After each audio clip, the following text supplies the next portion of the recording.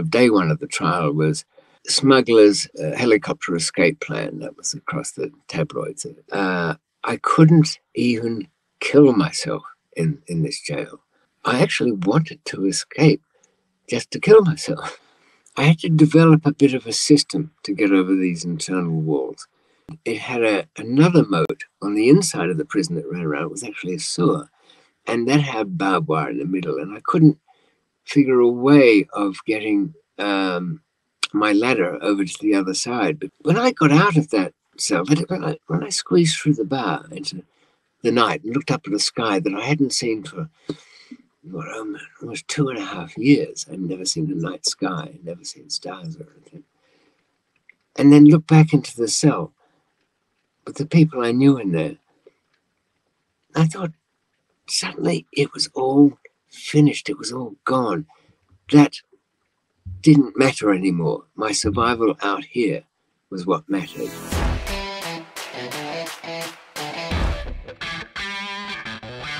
Hey, this is Matt Cox. I'm with David McMillan. He has escaped two prisons where he was on death row, and it's going to be a really interesting podcast. I hope you check it out.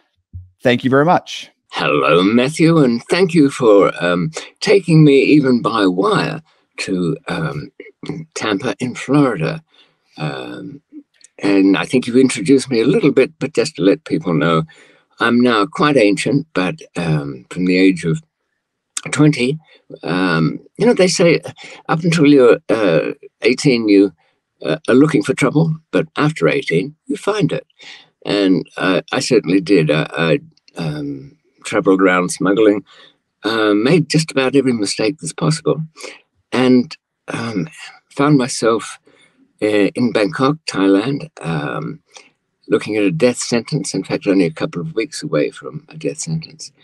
Um, got out of that one, which we'll talk about, I guess. And did I learn anything? I guess I must have. But did it stop me? No. I was in uh, Karachi in Pakistan several years later, uh, looking at the death penalty there. Was that an escape? Not in the literal sense that it was in Thailand, but as we'll find, it was in some ways more difficult. Okay, so um, just the accent and your appearance and the fact that I've read maybe I think there's like 20 books that were written by I can't believe I can't remember. You know the the, the character of Sean Dillon? Mm, not exactly. Oh my gosh, are you are you, you're gonna know? I have to look this up. I'm sorry. Hold on. Okay, go ahead. Uh, right, Matthew uh, was looking for. Is it a fictional character or yes. a real one? Okay. No, no. Um, Sean Dillon character. He do? Novel. Hmm. Okay. Let's see. Hold on. It is. uh Oh yeah, Jack Higgins. So Jack Higgins. Oh, I know the writer. Yes. Yeah. He wrote a series about 20 about 20 books on one of the characters' name is Sean Dillon. Right. And when after you and I spoke the other day, I was my wife and I were working out the next morning and she said, "Well, when are you going because I explained that we had technical difficulties and she said, "When are we going to or when are you going to be interviewing him?" Again, and I said, you know, I told her, "Oh, uh, I'm doing it Friday." And then I said, "Do you want to know what's so interesting?" And she said, "What?" I said, when he talks, I can't help thinking about the character of Sean Dillon. And Even though I, there hasn't been an actor that you know of who's played him. There probably is, but I, I haven't seen like I. There's no way this character has not been turned into some kind of a series. But I see what you're saying. Uh, so, so the, the the nature of the character in the Jack Higgins book, uh, somehow, yes, he's uh, probably would have benefited from my voice.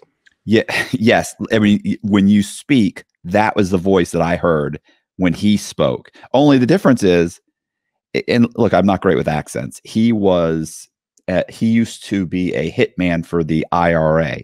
These books were written in the 80s. Oh, that's all right. I think that, you know, the IRA were much respected for their assassinations. And uh, I think an Irishman would have some issues with my accent, but well, um, I've had to um, from time to time um, adopt uh, accents uh, because of the passport I was traveling in. um, being a smuggler, um, I knew quite early on.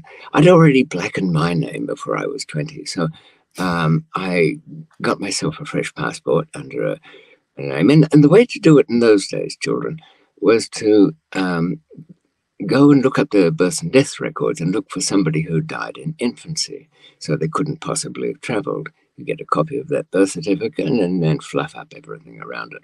And there you are. It's not quite so easy these days, but um, it, I, I suppose I would have had about uh, what, 25 different passports.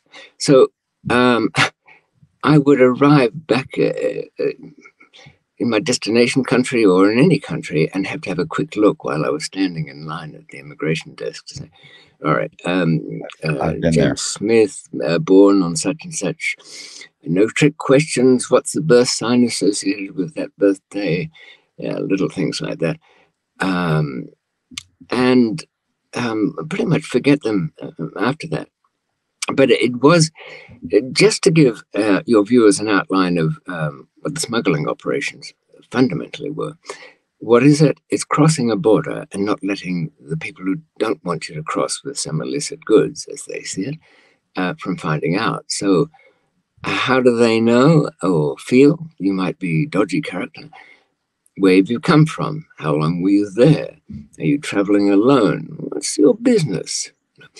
Uh, and um, I grew up in Australia for, I suppose, about 15 years. My accent is a, actually a very old fashioned uh, Australian accent that you don't hear anymore, but it's slightly, uh, somewhat English, of course. Were, were you um, born in Australia or just? No, I was born in London, and um, it, it was um, I've still got some eight millimeter uh, Kodachrome from 1958 of little David learning to walk in Hyde Park, and uh, nothing's working. I keep collapsing, even though I'm wearing a highly fashionable little trench coat. Uh, my father um, produced what was a very large banknote at the time and, and, worth a lot more than it sounds five pounds in, in those days. It was something like half the annual salary of a, a stevedore or something and he was waving this in front of me and, and, i just know my instinct even at two years old that this is something worth grabbing for. And i'm standing up and i finally get my little pudgy paw on the thing and i sit down again. And you could say that for the rest of the 60 years that followed i've been repeating those steps reaching out and grabbing for it. Um, but uh, i left there um, the parents broke up. I went to uh, Australia, um, I did. Um, I worked uh, for a television channel doing um, a kids' news program when I was 12. I really enjoyed that. Although it was not, you know, back in the 60s, that was frowned upon at the high school. Yeah, you beat up the kid that, you know, had the temerity to be on television, which was a kind of uh, fey poncy kind of thing to do. So um, I carried a, a, large knife under my uh, jacket uh, at, school. I don't know what I would have done with it, but it looked pretty damn impressive. Um, I, I, even fell in love with uh, one of my co-presenters, uh, Leslie Billing. I wonder whatever happened to her. But uh, there was an age difference, and when you're 12 and the girl is 17, um, you know, the Matthew, there's, there's going to be difficulties, isn't yeah. Uh, by the time the family fortunes had declined somewhat by the time I was in uh, my teenage years, and I actively sought out um, where I could make my fortunes. Now, people have to really cast their minds back to the, the late 60s and early 70s. And I don't suppose there's too many people alive who can do so. But um, the view was that uh, we would change the world. Um, it, there were was that revolutionary times, perhaps in the mind, not in reality. Uh, people think of uh, uh hippies and protests and anti-Vietnam War era marches, but um, in, in, general society, um, protesting against uh, the Vietnam War was considered um, virtually being a traitor. The long hairs were just dirty scum.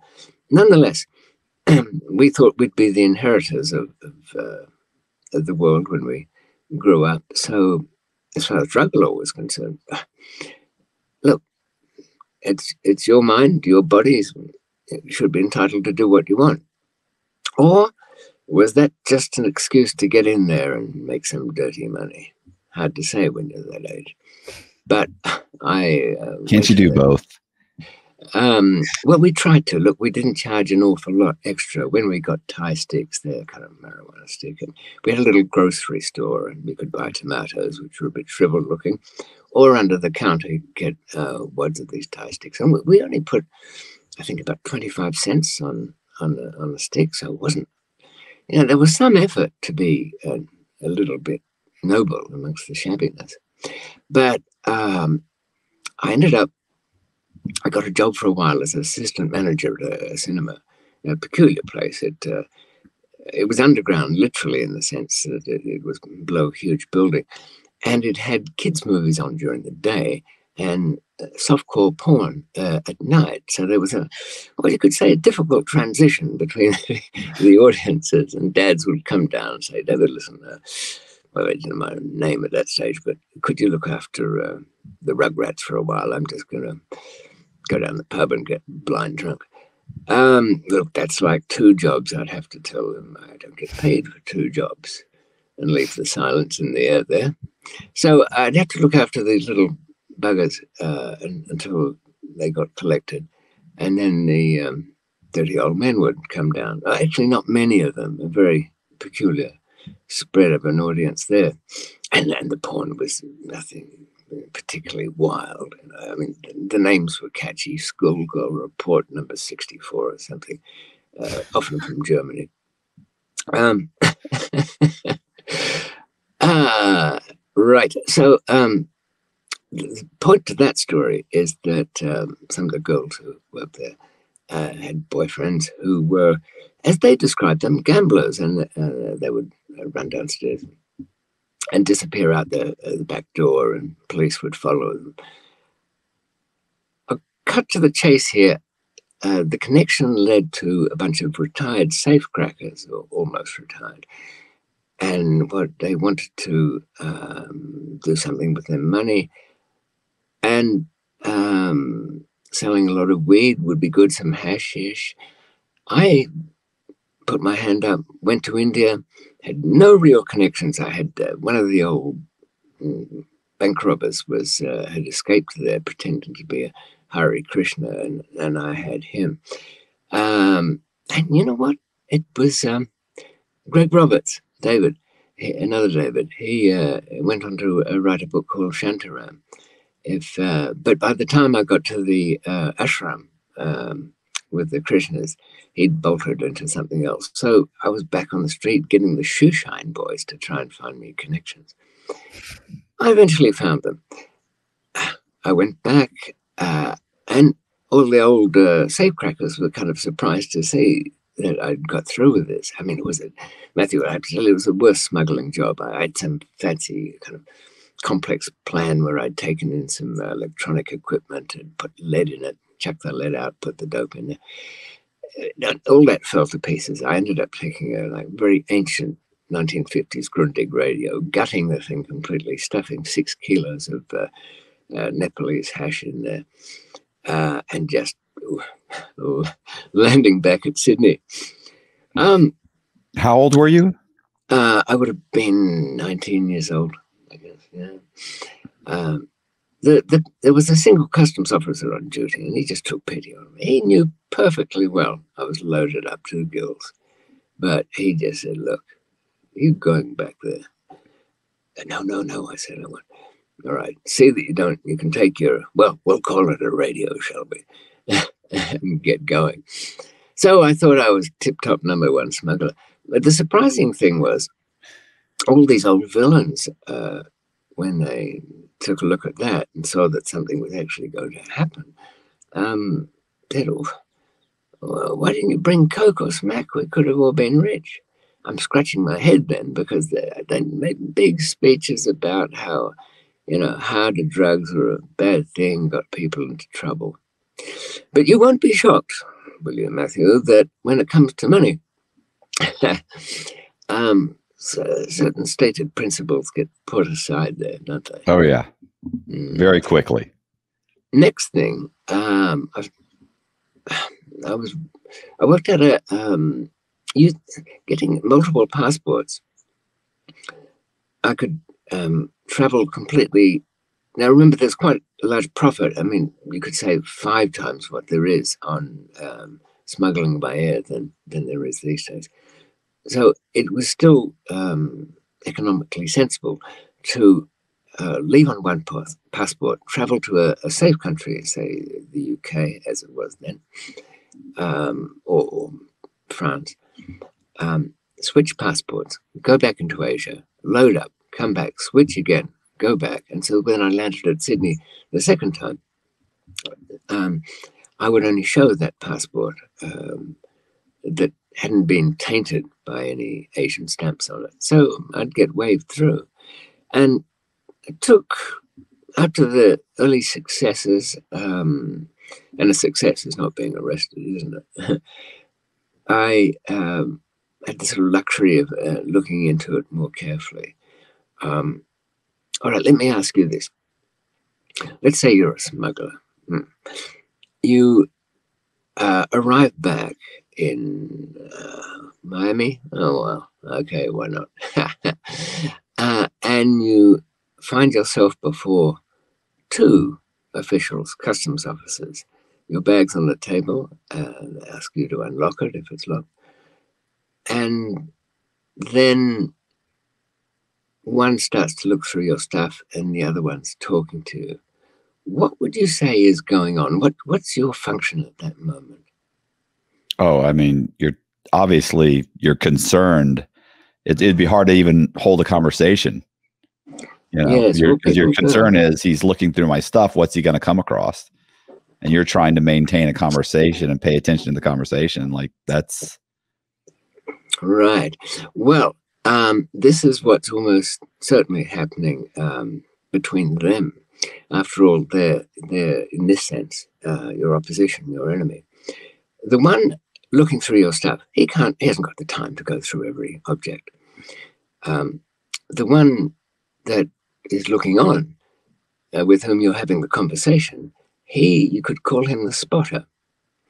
Why is that? Because the one who uh, lifted the lid of your suitcase and then dropped it onto his hand to feel the weight of the lid, to see whether there was something packed in there. He is just the handler. You'll notice he picks up objects one at a time your, your toiletry bag, your, your jumper, a couple of pairs of trainers, and puts them to the side on the, the empty lid that he's just dropped down. He'll, he'll pick them up and sort of half sniff at them or something like that. But what he hasn't got time for anything.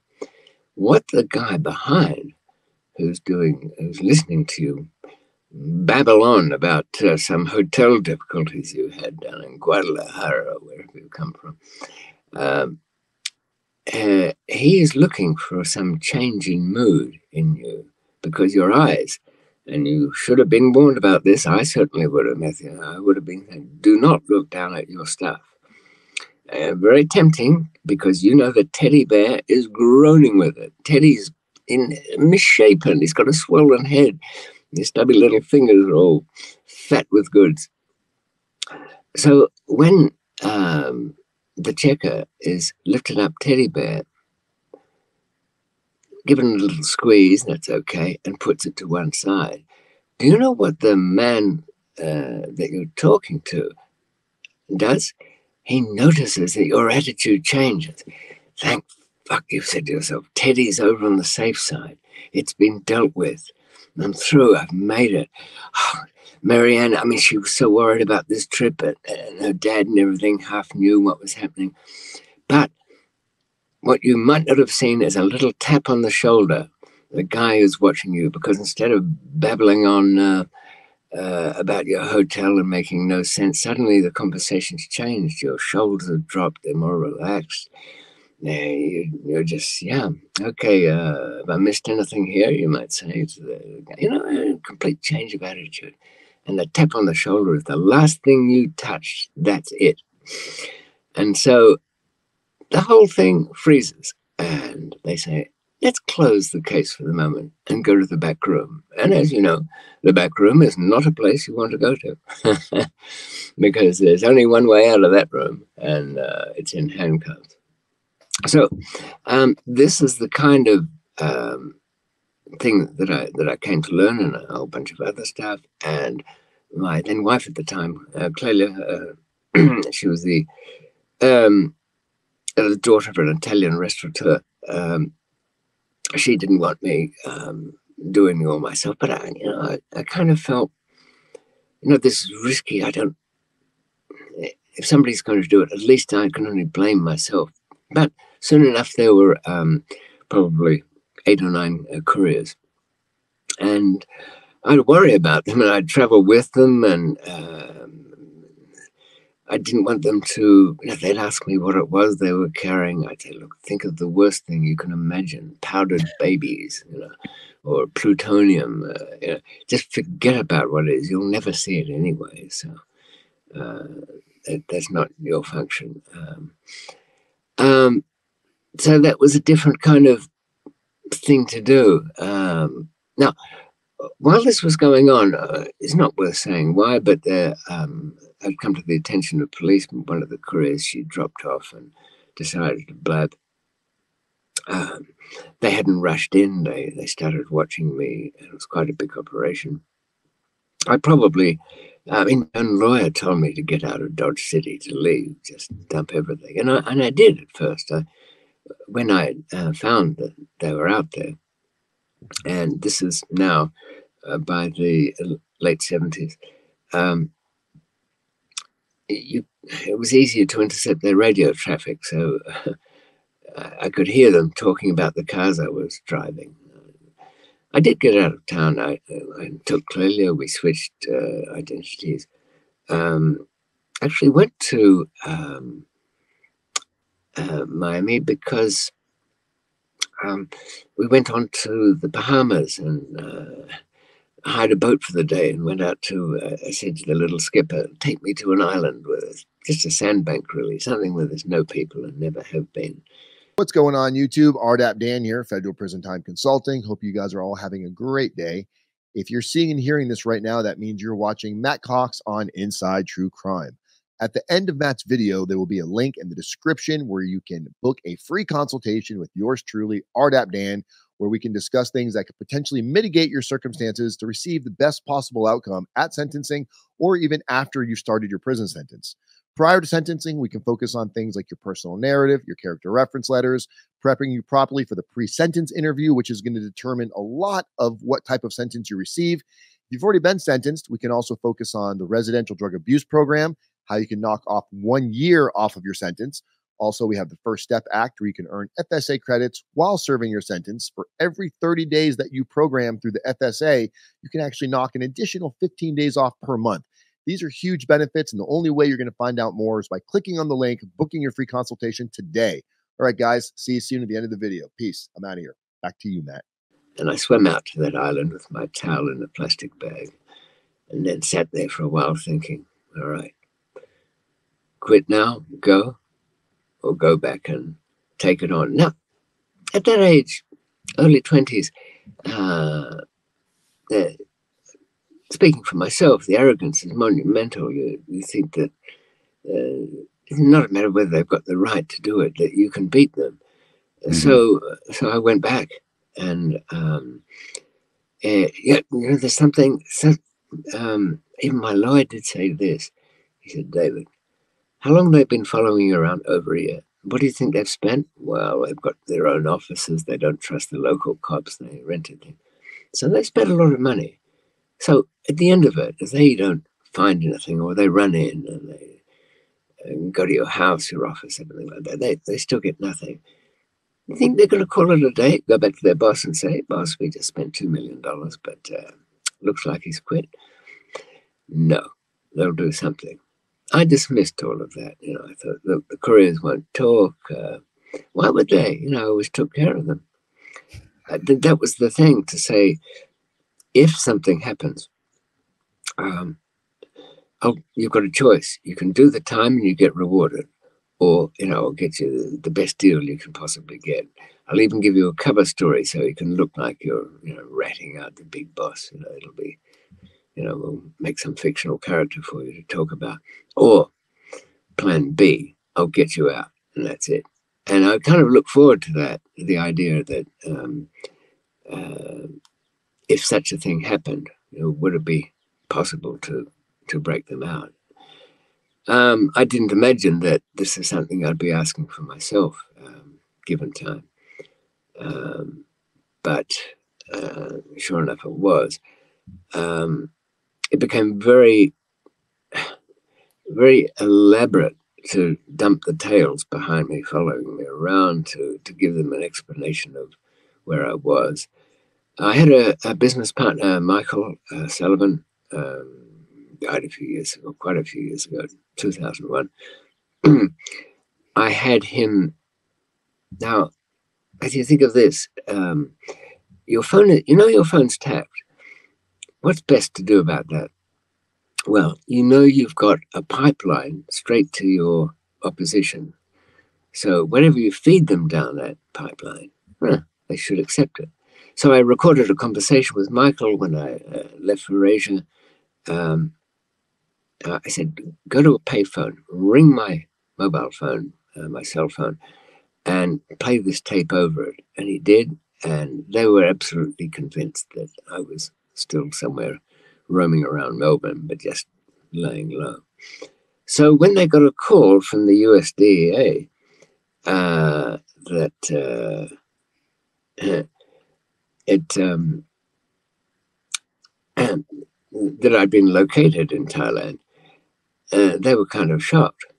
But I've really jumped ahead in the timeline here because the the case where the police were following me about, the, the big case, uh, we go back to 1980. They did steam in. They found nothing. There were no drugs, and they ran a huge case. Um, with uh, a conspiracy. Now, uh, the US uh, courts have got conspiracy cases, and I guess you, you know quite a few things about them. Would you agree that um, conspiracy cases much harder to win than the substantive case, uh, the case where uh, if you've been accused of uh, that you robbed a bank on this day, uh, that's substantive. And were you there? Have you got an alibi? All of that. But a conspiracy, that you plan to do this. Mm-hmm. Mm. And you know you are going to get the same sentence. Yeah. Or you helped the person do this. Exactly. You're part of the conspiracy. Right. You may not have been the main participant. You were just you, the guy answering the phones or picked them right. up. Right. Or, or you supplied some cars. Uh, or uh, you were the lookout, even. Um, lots of stuff. And what's the proof in a conspiracy? Scuttlebutt, gossip, just nonsense from some rat that's uh, turned over uh, on the case and done the best deal. I, have got to say that we were always a bit, um, uh, well, kind of nervous about doing business in the US. It seemed a couple of contacts I had there said, uh, look, people here are very much encouraged to make a deal. If they're in on the if the arrest starts to nibble away at the edges, uh, you might find you've got a, an informer uh, amongst you, uh, and like he might have been caught with something else, and uh, that's the deal to get them off. I mean, is that that's still very common? Is it? The law is, especially the federal law, is extremely lenient on people that cooperate. It's geared toward cooperation you get a, an extreme uh, know, a reward or you know a reduction in your sentence if you cooperate and the difference could be half it could be 75% mm. it's massive. And you know you get three people on the stand that say you were involved you were involved. You're, you're probably exactly. You're, it doesn't matter much what you do with uh, the, the character assassination of that person. In this big trial I'm talking about, uh, it was already grim because because we wouldn't talk, and not Michael, not I, not uh, not our wives, not uh, not Clelia, not Michael's Colombian wife, Marion. oh, and all of the couriers wouldn't say a word. Uh, we don't know. Uh, advised not to talk. They uh, cranked it up. They arrested not just the guys, but they arrested the wives. Even arrested my mother at one stage. She got released, of course, the next day or before that. Um, and um, that uh, couldn't get bail for, for the wives. Uh, and they were in uh, the old women's prison in Melbourne. And uh, they put an informer in with him, uh, Danielle. Unfortunately, she was an arsonist. That was her thing, little Danielle. And as a protest in there, uh, set fire to the place. Um, and uh, Michael and I are locked up in there. And and now they didn't have televisions, you didn't have portable radios. I think there was a, a, a loudspeaker that went through the, the creaky old cells uh, at night. And you could hear, I think, the, the last news bulletin around 11 before they shut it off. And the story was about uh, um, a fire at the women's prison and that uh, some had been hospitalized. Uh, there might have been, the last thing I heard before they shut it off was that, and there'd been three fatalities. So after a restful night's sleep, you can imagine it was not. Uh, I tore out when they opened up the next morning um, and went straight over to the, the, desk and spoke to the officer there. And I have, I've been there a few weeks. I sort of have knew him. I said, All right, so what is it? Was it any of them? Because they knew the girls were in there. And he started shuffling around. Um, Dave, um, look, we haven't got everything in. And I started to fade off then. You know, when you know somebody doesn't want to tell you something mm-hmm. because uh, it's not going to be good. Um, no one had talked to Michael or I, either of us. So um, they they they kind of put us in a holding yard, a little thing where nobody else could go to. Then we got called up for a visit. The visit center was empty. Walked through the, the officer was at his little desk in the, in the visits room. Didn't really look up, uh, just over that way. I walked around and uh, I could see all of my family there and uh, brother. Um, and the girls were dead. Um, and your your wife and Michael's yeah, wife, my wife and Michael's wife, yeah, and the and the, the little arsonist as well. Um, the the old dormitory that they were in was made of wood. It was covered in iron bars. Uh, the um, prison officer says say they couldn't get in there. Uh, the flames have got carried away. Mm. Um, now I kind of zoned out again in a different way. Um, you know, of course, raging and crying and uh, wanted to destroy the world. But uh, by the time my lawyer came in a few days later, um, I didn't want to know about any damn court or trial or who was what or. And he was saying, "Be careful, David. You know the police are putting it around that you, you and Michael arranged that fire. That you're going to kill all the witnesses. So the, the couriers they've held up, but they're starting to crumble. Boy, the police are dirty, aren't they? I said, no, it was lucky I had the kind of lawyer that you need in a situation like this. I just passed him a note with a piece of paper on it uh, and a couple of numbers. I said, this guy will give you $250,000.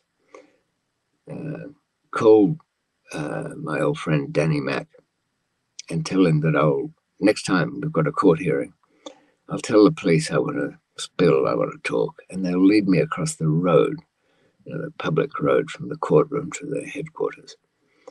Uh, I want the truck to come past and to be thrown these weapons. I, I, was going to go, uh, well, I was going to go full Apache. that, that, that, was my feeling at the time. I, I just, just didn't care. I thought um, I played as I saw it, nice guy for all those years, and then. Um, so what what could best happen then? Oh, Michael and I were thrown in the Supermax prison. It was a disgusting, horrible place, which was newly built, but um,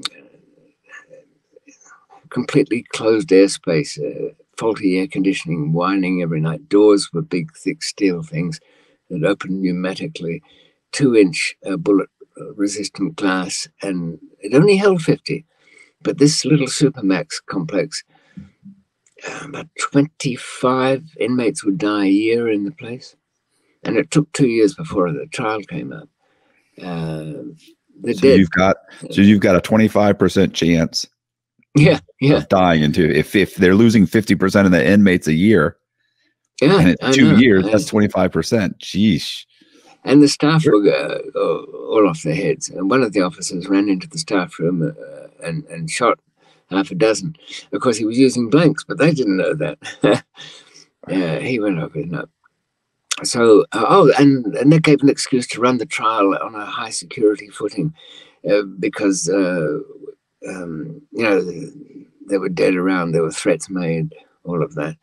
Um, we were taken to court in i know it's customary in, in us appearances to have um, leg irons and manacles and handcuffs and things but these were extra heavy ones and we'd be chained up um, and a helicopter used to take us in for the hearings. But just to make it interesting, um, a week before the big drug trial uh, started, um, oh yeah, I, that's right. this is the way of these things. I managed to get out of that supermax after a year. It's starting to, you know, it was dangerous and where everybody got back over to a place place in the prison where they made number plates.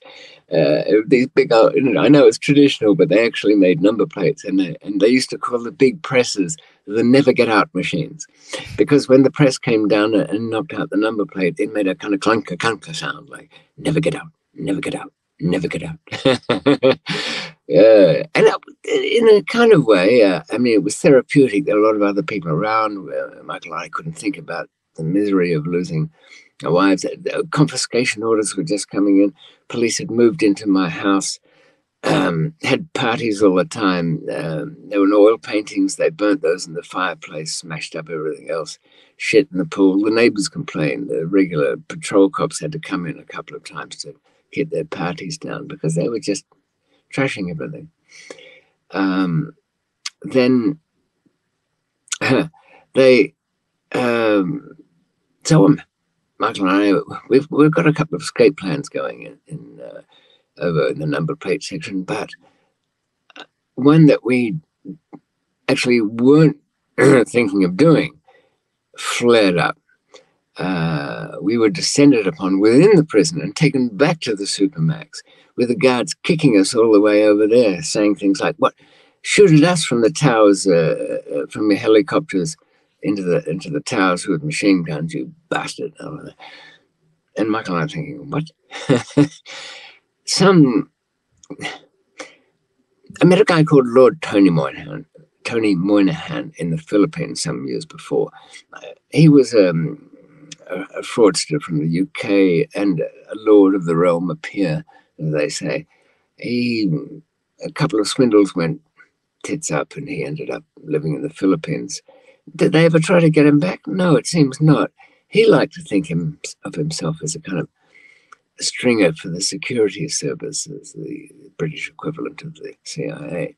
Well, he certainly was a dirty double crosser, and he'd sent over somebody to pretend to be getting us out by helicopter, uh, but actually hoping just to um, run off with uh, any money advanced on that. But uh, he not only sent this sucker over here to pretend to be a, a former you know, Green Beret Special Services guy, he called his um, federal police friends in Australia at the same time. He said, look, this guy's coming over. You can watch him. He'll be in hotels. He'll be doing this. Uh, he's going there to get them out by helicopter. Well, he's not really, you know what I mean, but uh, it'll look that way. So I'm back in. Um, well, so what was the? Hmm? Well, I'm sorry. What was the benefit? Oh, that because was, it, if he was hoping to set you guys up and, and get some advance, some of the the money in advance. What was the benefit in telling the authorities this is what's happening? Did he Uh, until he already got the money? Um, the once they if they um, it was two hundred and fifty thousand. Um, if that money had been advanced, um, then um, he the guy who uh, sent over would um, take some of it, but he, the, his lordship would make sure he got uh, the, the sizable chunk of it.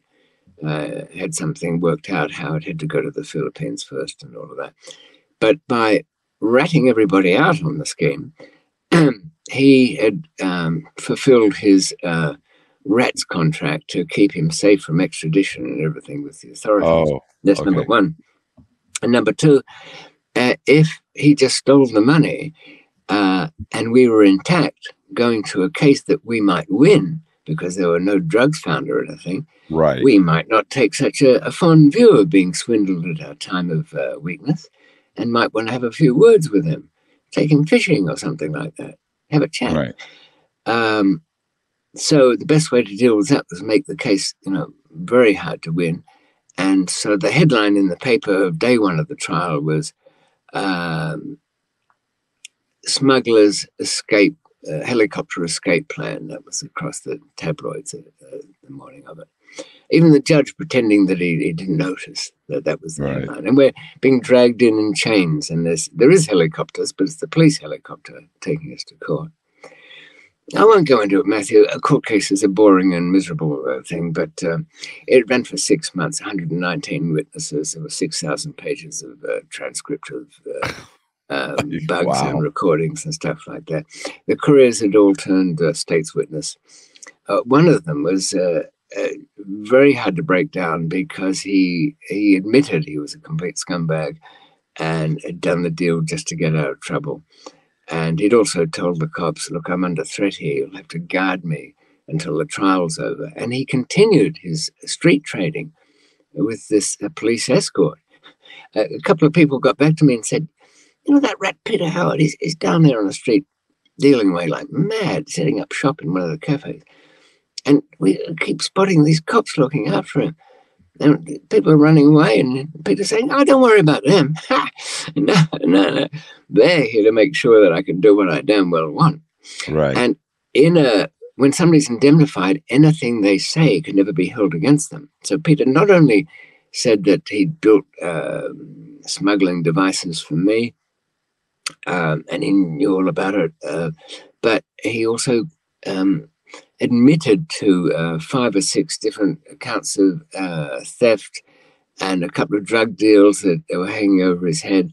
So he could never be brought to trial for any of those things because he'd said it, uh, this, said this while he was um, under complete immunity from prosecution. And no matter how the worse we made him look, the, the more credible his story was. Anyway, the jury went out. They were a little bit on our side because they felt like the state had overdone it, you know, in, in our case, that um, it was, you know, serious drugs, but on the other hand, it wasn't huge amounts, you know, like two, three, five kilos. And, and we were drug users ourselves at the time. And I was um, somewhat sympathetic. So they came back after a day and said to the judge, "Look, we can't decide. Well, he's not about to blow $5 million worth of trial on that. So he sent them back out. And they stayed out. The only thing they asked for was, uh, oh, yeah, they got 60,000 cash out of my office. They wanted to have a play with that. And, oh, yeah, there were some drugs in the case. The police, because they were no, went all the way to Thailand, brought back two kilos of heroin, set it up on a little stand in the court as an example of what heroin, when brought from over that part of the world, looks like. Oh, that's that's And, dirty. and we, this, there was a whole operation to stage this little uh, platform of the steaming pile of heroin. but it had been brought, and, and when, uh, of course, I had my lawyer always really probe deeply on the mechanics of how they brought this stuff in and what the license looked like and who was involved. But the judge, he was on to me about that. Was same with the recording things. I was asking about where was the recording center for tap phones and what equipment did they use and you know, how many people manned the station, what was its location. he, he knew that I was just fishing around to try and get um, information for later. Um, so the jury were out for um, five, six, six days, and then they came back. Do they have a verdict? Not at all. They don't want to work Sundays. Oh, no. They want to go on a picnic. And they even had a list of all the food they wanted on the picnic. So a bus was organized for them and they went off on their Sunday picnic. And the judge is gritting his teeth through all of this, but he knows he's got to go along with it because it can't upset the jury. Um, they'd even asked for that um, two kilos of heroin, to, and they're allowed to examine any uh, physical um, bit of uh, exhibit. And the judge kind of very delicately said, um, well, it, it, it, uh, it, was there, but we had to take it away because they complained about it being in court. But um, what is it you want? I mean, you're entitled to, but it is two kilos of heroin. I must have been one of my own kind on the jury, I think. Anyway, uh, who knows what I was going to do. Um, uh, I had heard that there, there might have been a friend on that jury. Uh, finally came back and read out their verdicts. Not guilty, not guilty, not guilty. But just one, one count out of the 12 uh, I went down on. That was enough for the judge. He gave me uh, uh, effectively 15 years for that. so wow. back to high security I went. And uh, it was a kind of a, took me a while to pick myself up from that, from the Supermax. I was in that the horrible. Uh, I mean, the, you know what these cells look like. It's all concrete. The bed's concrete. The, st- the sink is steel. The the air is dry and stale. And screws are half all mad. And uh, I'm, I'm in this jumpsuit. And when you go on a visit, it's had a little padlock up the top, so you couldn't unzip it and hide anything in there. Um, it, it, nothing. All of all my previous life had been taken, gone. oh, everything, every stitch of clothing, every, every object, every uh, photograph, every letter, nothing, all trashed by the police or, or, confiscated. My wife dead, gone. The only thing I had was some old cassette tapes uh, from the, the, the bug that was planted in the house, and I could hear my wife Clelia walking around the house, uh, and with her with our dog, and a phone call had come in. It was her sister, and she said. Clay, are you all right? You sound upset. You've been crying. Oh, a little. Oh, yeah. Uh, and this was back when I was still uh, up to mischief and we were still okay. There was nothing wrong that I knew of. And uh, her sister said, Is it David? Has he done something? No, no, no, nothing. Nothing to do with that. And the conversation ended, but it stayed with me, I can tell you, for 45 years because I'll never know the answer to that. Mm ever. Anyway, um, so uh, I'd been released and um, they were right on me. As I mean, they even came to visit me before I got released and said, "We'll be on your case." And sure enough, they were. So I decided to leave uh, Australia for good. Forget about Australia. I'd well, you got to the UK. You said you you received fifteen years. Yeah, yeah. I served uh, ten or actually about 11 years. Uh, I got it for the great helicopter escape that was a load of bullshit. Uh, I got an extra year for that. Um, so I was the, the the way it works in uh, the under English law, and that includes Canada, Australia, and whatnot. Um, you do about two thirds of a sentence, then then you're released on parole. Okay, so how much time did you actually do inside in the That's prison? what I mean. It came to uh, eleven years. 11 you did 11 years in prison? Yeah yeah but i worked my way to um, uh, increasingly uh, more relaxed conditions. In fact I, I, the last part of it was um, in uh, an open prison. It was an old country farmhouse. Uh, it had been used for a prisoner of war camp in 1918 or 16 and we used to find old tunnels down underneath the main main uh, residence there and uh, I had a job in the um, cafe that um, served visitors and the staff. Uh, I'd worked in a couple of other places with uh, satisfactorily in the prison system. So the, the prison superintendent, uh, warden, chief warden, governor, as they call them there, um, he took me down to this little cafe and handed me the keys, and he said, "Listen, I've heard about you, David. You're all right, but this place has got to make a profit, and I think you know what that means. So, one thing, only rule: don't let these bastards at these keys, and make sure you lock the till at night and put the cash away. I wouldn't even keep it in this building. so that was quite uh, a bit, and I, I did have to clarify. I said, "Well, I'm not going to let my fellow prisoners run around in here. It's really the staff canteen anyway. Huh? I'm not talking about them. Oh, fuck the prisoners. No, I'm talking about my, my staff. Don't let any of the prison officers order you to give them the keys. They, they can tell them to come and see me or tell them to fuck off or whatever you want to do, but don't let them have it. So this was kind of unusual. And I, would go into town, the local small town, and, and do shopping twice a week and, and take a car and a driver and and uh, the officers would line up for that one because they knew with me they could dart off somewhere and go and have a drink or I think what's her name? What was her name? Um, oh, anyway, uh, she was a kind of plump uh, married woman who, uh, with her husband, worked at the prison. and She'd go off and have her hair done. I got this is when I was in town, supposedly shopping, but the shopping, I should tell you, was actually a list of the things that my fellow prisoners wanted, the specialties, the, the, uh, the Kalamata uh, olives or the hummus or, or, whatever it might be, all the goods I needed for my little cafe, um, the head cook uh, for the, the prison, he would steal those for me. In fact, I, I cut through the paperwork on that one by uh, getting a copy of the key to the, um, uh, the storerooms in there. So I was making a profit. The prison was making a profit, and uh, the only problems I ever got was when if I lost some of the staff and my trips into town. I had the the um, um, uh, the I had the, the prison boss on the, on the radio saying, "Where where is she?" I said, "Look, you know where she is, but she's getting her hair done again. You go and get her and bring her back.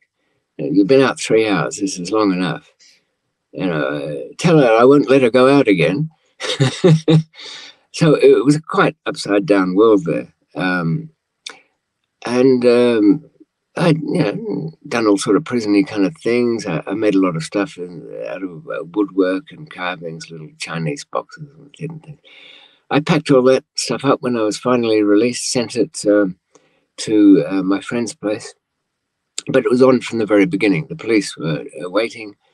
Uh, all my little artworks and carvings, they intercepted that on the courier van that took it um, back home and smashed it all up. So the courier brought a whole lot of broken wood. I said, well, that's didn't make it, did it? Uh, a bumpy ride coming over here, was it? Uh, I don't know. Look, uh, I can't say. I was told not to say anything. So these were really going to annoy me, these people. I mean, I, I got a small apartment and, and they'd break in there and rearrange the furniture, you know, sort of gaslight me, or, or leave uh, obscene messages on my answering service. So I, I ended up with a girlfriend, and they pulled her aside and said, "Look, don't have anything to do with him. He'll uh, he'll be having you working as a courier in a minute." Enough was enough. I, I decided to leave the country, and that's when I uh, was heading for Europe. I had uh, multiple passports again, and they were not easy to get when I'm being followed night and day. Uh, I even had to kind of make a clumsy one that they'd get onto, so the real one they wouldn't find. Uh, um, it was, uh, I mean, what's it like in the US? What's the kind of little history of getting false passports? Is it was it easy once, not so easy now? I mean, I you know, my understanding is that at one point the uh, using the the death certificates would actually work back in the 60s 70s by yeah. the 80s you know that was no longer something that was was going was working because when you die in the united states the the mortuary right like you go in to have you know where the funeral home yeah um they get your your you know they get your death certificate and they send it into social security so they can get a $250 rebate to help pay for the funeral well that yeah. notifies social security that you are deceased so the um, the us state department which issues passports here they get an updated list of all the people that have been deceased. So if you were to apply using a social security number for a deceased person, they would yeah. be note they would have that that name and social security number. Okay. So the way the way I did it mm. was I surveyed homeless people uh, that had never had a, a, a U.S. passport. I would then go get a driver's license in their name you know, I would order. They have, sorry, did they have a social security number? The homeless? Oh yeah, of course. Okay, you're issued one at birth. So ah, well. what I did was I would I would you know I'd survey them and say basically I would say that I was I was doing surveys to determine where the Salvation Army is going to place their next homeless facility and I'd give good mm-hmm. twenty dollars. I'd say, you know, it pays twenty dollars right now, and I ha- I made myself a little laminated badge that I was a statistical surveyor. Right, right. And I had a, I had a whole form. The form looked very legitimate, and I had a you know the uh, the clipboard, the whole thing. And yeah. so I would go out and I'd say, yeah, it pays twenty dollars cash right now, and they go, oh yeah, what do you need? Your mm. name, date of birth, where were you born, what county, what's your mother's maiden name, like everything I needed to to order their a copy of their social security card, copy of their birth certificate. I would register to vote in their name. I would get a copy of their driving record, and then I would go into a state where they'd never had a driver's license, and I yeah. would I would take that. I'd go get an ID or a driver's license in their name. Then I would go apply for a passport in their name. They'd never had one, mm. you know, and so uh, I would get a passport in their name. In the U.S., you don't have to provide fingerprints. Right. The only time you're fingerprinted is if you're traveling excessively to, you know, there's a watch list of, you know, if you're going to Syria and, yeah, you know, that, that will do it. right, they're going to fingerprint you. But mm-hmm. I would get the passports and then I could travel on them. I could go to Jamaica. I could go to Greece, to Italy, wherever I wanted to go on a passport. And, you know, you go through customs and they ask you, and you show them a passport, which was issued by the State Department my picture shows up when they when they scan it my picture shows up on the screen. It's me. Mm. so that was how i figured out how to get around it. Um, okay, but you know, all those are difficult steps though. You know most people have a hard time getting their own passport. How hard is it to get one in someone else's name? It's difficult. And look matthew what what you're showing there is uh, uh, uh, something the reverse of uh, the thing i we've all come across in the underground world, and that is that uh, so many crooks are just simply lazy and they don't want to do the work. Yes. Um, uh, I've been asked by um, time to time, uh, people say, "Oh, well, who's your guy that gets uh, the passport, or who's the guy that makes your uh, equipment for you know what you've got to do?" Oh, well, that guy is me. Right. And if you think you're coming in on some job that where uh, it's easy money. Uh, no, no, no. Go back and fantasize and watch movies or whatever the fuck it is you do. But in the real world, if you want any kind of safety, uh, you have to do uh, work from the ground up. And right. and and clearly that that that was the way. I mean, and you found that people are not willing to make that effort. I I find that even when you hand them the documents, and you you you hold their hand they still manage to to screw it up i i have a i have a buddy that used to provide people with the a, a false driver's license a false like all the false documents and as right. soon as they made a little bit of money they yeah. they would blow the next deal they would get on drugs they would mm. they would just do ridiculous things and it was like you you can't be given any responsibility and yes, I, I agree. Most criminals are extremely lazy. They don't want to take that extra step. And as you say, not particularly in control. Uh, sometimes I, I, used to think that um, so many people uh, I'd meet in prison were actually, in a quiet way, mm, kind of glad to have um, their lives controlled in that way. They, they grumbled about it and bitched and all that. But outside, they, they looked like completely you know, the string had been undone on the balloon and they just run around like, you know, banging yeah. off the walls. I actually um, spoke with someone the other day. I did an interview and we were taught we that kind of came up in a way. Right. And I've talked about this before where there are some people that do really well in prison.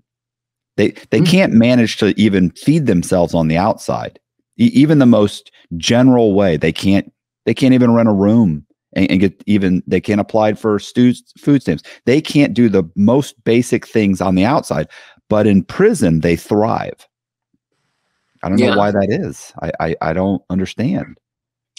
Um, well, it's if we broke down a prison population, um, we would find uh, a bunch of borderline nutcases that don't quite qualify for the uh, the nut house itself because they're actually able to wipe their ass and feed themselves. So that's enough. You, you can go to yeah. prison. It's, you know, and drug addicts, ton of drug, drug addicts. addicts uh, yes, uh, giving um, the vast majority of people who can handle their intoxicants perfectly well and, and know when to draw the line, giving us all a bad name by just um, overindulging. Uh, uh, stealing money from their friends, uh, mostly too lazy to even go out robbing, robbing places in a systematic way, just from whoever trusts them, they're, they're stealing. And then had the gall to go into a courtroom and say to the judge, Well, it wasn't me, Your Honor. It was the dirty, rotten drug dealers who got me in all this trouble. You know, um, it, it's pretty grim. So the, the prison population is I don't know. In the good old days, you could find 10% of people who were serious. And you'd know who they were because they wouldn't be in a rush to say hello. And they had their own little worlds organized and how their cell was rigged up. And, you know, they got made the, the best of what you could out of a, a prison system. But it's barely even that now. Uh, I. you know, some years ago, I used to say to a young person, "Look, if you want to get ahead in the world. Um, get yourself, uh, go to Amsterdam, break a window, or something that get you into prison for a few weeks. Uh, have to do something fairly decent over there, but you'll fill up your contact book uh, with great names. Huge oh yeah, everybody you want. But now I'd be tempted to say, look, the bad thing about it, prisons aren't what they used to be. They're really just nut houses or, or places for wife beaters and snitches. Um, so, oh, and incompetence. You just find the whole place annoying and wish you were somewhere else. So there's, there's not one virtue left even in it. it um, sorry, I have a quick question. In Australia, yeah. do you have a a federal system and a state system? It is. It's um, it's even though all the like early America, all, all, the street names and the town names are, are British. Um, the uh, when it became quasi-independent, it still has the crown as a head of state, but and likes it that way. Uh, but uh, it, each state had its own uh, Supreme Court and um, legislature, uh, a two-chamber one uh, and then federally they have a Senate and a House of Representatives. So it's very similar to the um, the US. US. In fact, if it wasn't for, um, I think the similarities between Australia and the US are, uh, are very very strong. Um, except that the US is more mature in the sense it's older, and so you've got quite big state difference in. Um, if you go down south, people are quite different than there even East Coast, West Coast, there's a sort of a, a, a different outlook. Uh, somebody much. said to me years ago in the um, in the protest movement, uh, there was a uh, Abbie Hoffman was going to um, uh, surround the uh, Pentagon, and were, all the hippies were going to hold hands and levitate the Pentagon into the air. Uh, now, the East Coast people thought that'll be a great media moment. It'll look good. They can stage this and that, and you know, it'll move the cause ahead. Whereas the West Coast Californians, hippies, thought, yeah, the Pentagon's really going to get into the air with all this, you know, positive energy going on there. So uh, quite a lot flakier uh, they did. Um, so there, there, was those, and and this some. I suppose if we have some time in the future, we could probably uh, uh, compare um, what um, well, the style and the manner of different places um, is like in the US. We, when in the early days, it used to be a thing to go to a, um, a country or a place you didn't know and then score. it didn't really matter what you scored, but the important thing was you had no contacts and you had to go out there and do it.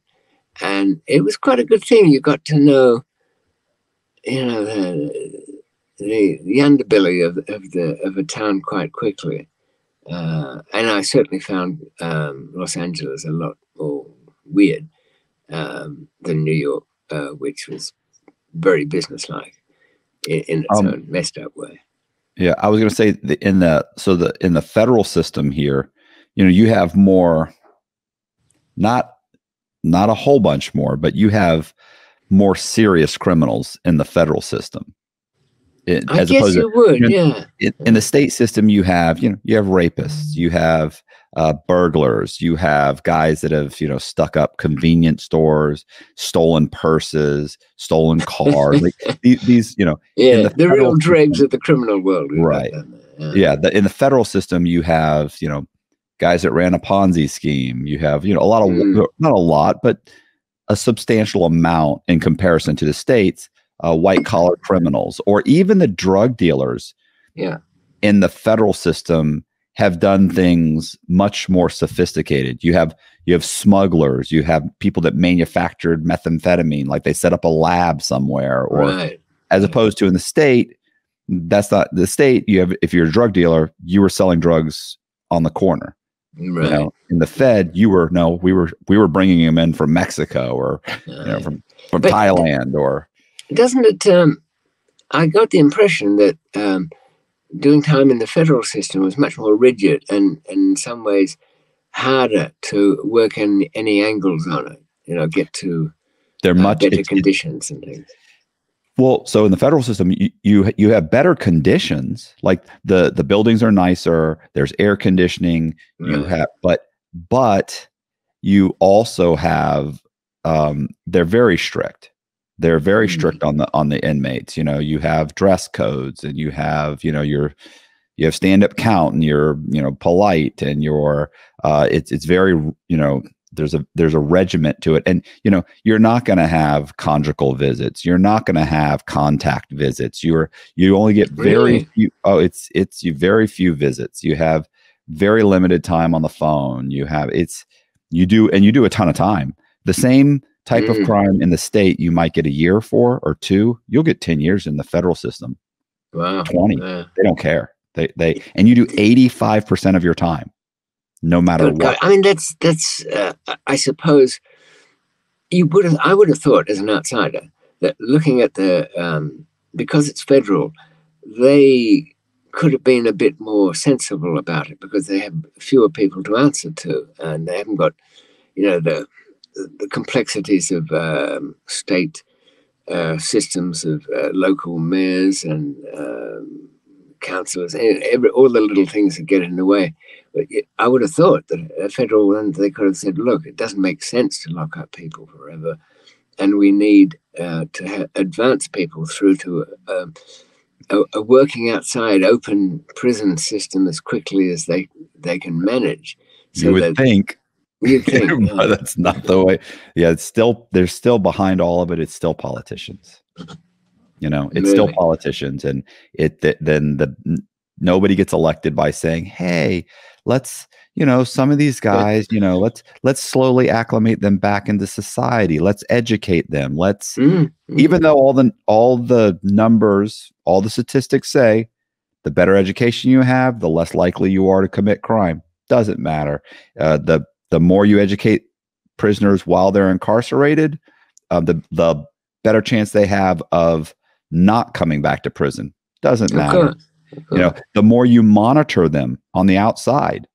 You know, if you give them a ten year mm. probationary uh, sentence, or mm. put them on an ankle monitor and let them have a job, they have a mm. less chance of coming back to prison. Doesn't matter. Like they get elected by saying, lock them up and throw away the key. Right. It's um, it, it is really hard to change that when the when the politics of it come in. I spent a little time in um, a Danish prison. The law there, when they set up the prisons department and the, the sort of justice system, they made it so it was utterly independent from politics. They that would be the only way to do it, and and their own their own kind of constitution within that system. So it doesn't matter what the politician comes and says. Politician doesn't have to sign off on anything. There's no governor to sign off on. The prison service decide, and they um, also part of their charter is that they are obliged to send you out better than you came in, and if they fail in that, um, they then have to provide. They, they write you off if you've served more than six years. They expect that you've probably um, this is served more than six years in in uh, a closed prison, um, you're probably not going to very well adapt to the real world again. So, ninety percent of inmates, uh, if sentenced to anything, are, are in open prisons, and they can serve their time at weekends if they've got a job. They don't want them to lose their job. Um, and the sentences are generally a lot less. And even in the closed prisons, um, sections have no more than 25 inmates and they have big kitchens and you're paid enough to go to the local supermarket within the prison. You have to do your own shopping, you have to work, you have to be as normal as possible. You know, things are not handed out like toilet paper and razor blades. You, you know, if you're, um, and, and, and people generally don't come back unless they're in a particular kind of group of people that have decided to be criminals their whole right. lives. Um, and it, just by the way, in that country, it's um, two motorcycle gangs, Hells Angels and the Bandidos.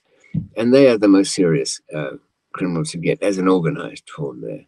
Um, I'm not too sure whether they ride too many bikes anymore, but they certainly get up to a bit of mischief here and there. Um, and it's, um, and yet in the UK, it would never, to have suddenly impose a open prison estate, you could say, uh, on the prison service here, it would be a disaster. Uh, people are so um, us and them against, uh, you know, fuck the world and uh, uh, society owes me everything. I'm going to destroy it. They, they really, and I think that's partly population. And when you got, um, you know, we have these big countries with big populations, whereas the Scandinavian ones have little populations, and there's more of a sense of community there, so they don't feel like they want to destroy everything. Um, so very hard to bring it. I mean, can you imagine if you tried to have, you said to, um, I don't know, even 75% of the inmates, oh, listen, you're all going off to an open prison, and those of you who are not violent, you actually be reporting weekends, and um, that'd be fine. But um, for for most inmates who were used to closed conditions. Um, and they went to a, their new prison, which was like some kind of a motel. They just run off and get drunk. Yeah, they wouldn't know what to do. They, you, I, I, was going to say most of the inmates, if every time they would give us some kind of benefit, some mm. kind of new program, the inmates ruined it. They oh, always yeah. ruined it. Yeah, you know? yeah, no, fuck that. Uh, um, I was mm. going to say what. Uh, so what happened when you went to? You finally moved out of. They, they. It sounds to me like they basically made your life so miserable. You just said, "I'm. I'm." You. They ran you out of uh, Australia. You're right. Said, I. I thought I. I um, at least learned that much that um, you can't fight and win. So uh, that was it. I got a couple of uh, good passports. Um, very elaborately, you know, having to hide all the mechanisms for that from them and, and to say, got away clean. And uh, I stopped though in Bangkok to pick up some money because it'd been years I'd lost everything. I had a, a, Thai business partner there who had some money for me. But um, I also uh, made a phone call to um, a guy I knew from Chiang Mai. He was Thai, but he was very careless. And um, what I didn't know at the time that his uncle was um, huge. Uh, you know, they talk about the Golden Triangle. It had like three main groups and all of that. Well, there's uh, four, and this this uncle was in one of them. His was the um, the White Horse brand on the on the stamps from the laboratories. I knew nothing about that, or worse, that um, this uncle had uh, arranged for the the wife of um, a DEA agent who was uh, stationed in uh, Chiang Mai at the office there. Now, in the office up there, they tell the agents not to go out like James Bond and sort of do shit and visit places and things. But this guy, insisted on going to see the opium farmers and, and nosing about. Well, the uncle wanted to teach him a lesson uh, by um, picking up the wife uh, on the school round and uh, letting her go, of course, but just to say, look, your job's behind a desk. You don't mm-hmm. run around. I can get to you. Farmers. Yeah. Right. Um, that went bad, and uh, the kidnapper's car broke down at an intersection. And a policeman came along, and mm. the policeman got shot. And one of the kidnappers was shot, and it left one kidnapper remaining with. Um, he let the kids go, of course, and the nanny, and just kept the wife. And he had a, a, a pistol at her head, saying, call this, do something. There was some big monk kind of priest guy that was going to swap positions with him and get the wife out.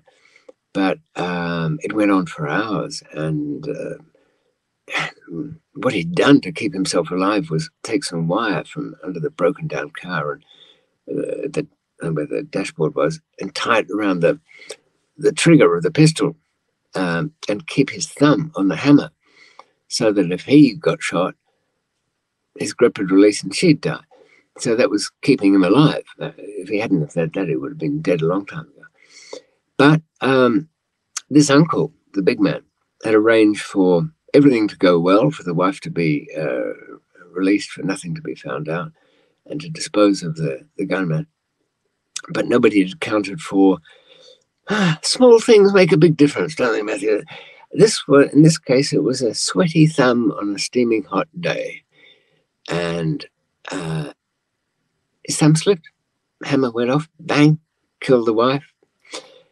And the instructions that everybody had handed down uh, after that, um, the instructions from the Americans was, we want this guy alive. We know what's behind all this. We want him to tell us about the uncle.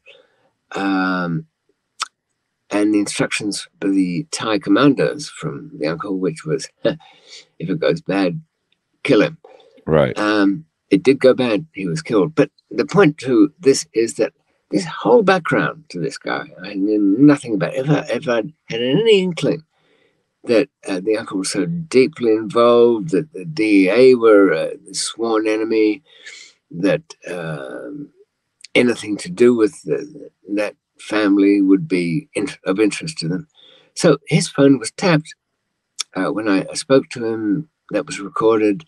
They knew I was in Thailand. When I say they, I mean the, the uh, British and Australians. Didn't really care so much, but the DEA did as well, and uh, um, they decided to um, uh, to arrest me there on anything. It doesn't matter in Thailand. Uh, you arrest somebody it doesn't matter whether there's drugs involved or not. I went to the airport uh, to get out. I could see they were all sniffing about. So I melted into the crowd, disappeared downstairs. You're at an airport to get away. You don't take the taxi from the taxi rank. You try and get a car from the middle of the ones waiting outside the airport so they can beat their way through the traffic. I did that. Took these little motorcycle taxis once I was back in, in town. Went um, had a drink in a hotel bar, went to a shopping center, lots of things to get rid of them. But um, they were tapping phones, including one to a travel agency whose office I was going to use to make some calls. In short, I arrived there. I was pounced upon, uh, arrested. I had two passports, about 55,000 US dollars on me. Um, there was a bit of a conference, I believe, and it was decided uh, uh, I should be arrested with some kind of drugs they every afternoon at, at the airport they do a bit of a sweep up around the floor, especially before security because people dump all their bits when they, they get cold feet about going on with it. Uh, so some stuff was sorted out from there, and it only takes 25 grams of, um, uh, say, cocaine or heroin or, something at an upper level, even ecstasy, to have the death penalty there. So um, I, after a week in the uh, when it looked like I could get out of the passport and money charge, um, I, I, thought that I was very depressing. Um, I realized I never would, and they were charging me with uh, uh, um, a death penalty offense. Uh, well, I mean, but they didn't catch it on you; they just planted. No, it. no, no. They they they said that um, um, we found it at the airport, and um, it, it, it must have been his. What other criminals could have possibly been at the airport that day? None. No, I didn't see any criminals. No, what was it? Heroin? Uh, this was heroin after a bit of decision making, because the the first bag looked like you know cigarette butts and a bit of weed and you know a few pills of God knows what kind. Uh, but it, the heroin's very reliable to get the death penalty. So um, that was about six. What was that? Uh, Thirty-five grams or something like that, you know, an ounce or so. Um, and I'm assuming and, this isn't a, a long legal battle that takes a decade to fight. Oh, it does take a while because you only appear in court every six to eight weeks, and you're only there for one witness or an hour or something like that, if anybody shows up on any side. Um, you're taken there in leg iron, I mean, really massive elephant chains. They, they clap the C ring around your ankle. Some guy hammers it on there, um, and you get a shoelace or something to lift up those chains so you don't rattle too much. Um, I, um, but uh, I should point out that I'm now in what the hell was I? Thirty-five, my my late thirties. Uh, since I was eighteen, I'd been battling them. I'd lost everything, and then uh, gone through this prison sentence. I got out, and they're chasing me around. I get to Thailand, and they fuck me over. Uh, I couldn't even kill myself in in this jail. Um, it was huge. It was disgusting. The, the dormitories had um, were built for 64 and they had 140, 150 people. You could rent a piece of cardboard to sleep on the, the floor in the corridor. The toilet was, uh, if you were lucky, it was in one of the, the, the cages. And, and, so there was a hole in the ground down the end. But the, the corridor people had a huge 44 gallon drum with a plank over the top of it. That was their toilet. Mm. Um, it's uh, there just seemed no way out, and I thought if I'm that unlucky, uh, it's a long story. I won't really detail it here. I've written about it before, but the odds seem so against me that um, what was the point of going on? So I actually wanted to escape just to kill myself. It sounds bad. I even had the hotel in mind from which I was going to jump, the Dusit Thani, because when you get up there, there's a little hatch that um, you, you, can climb out onto.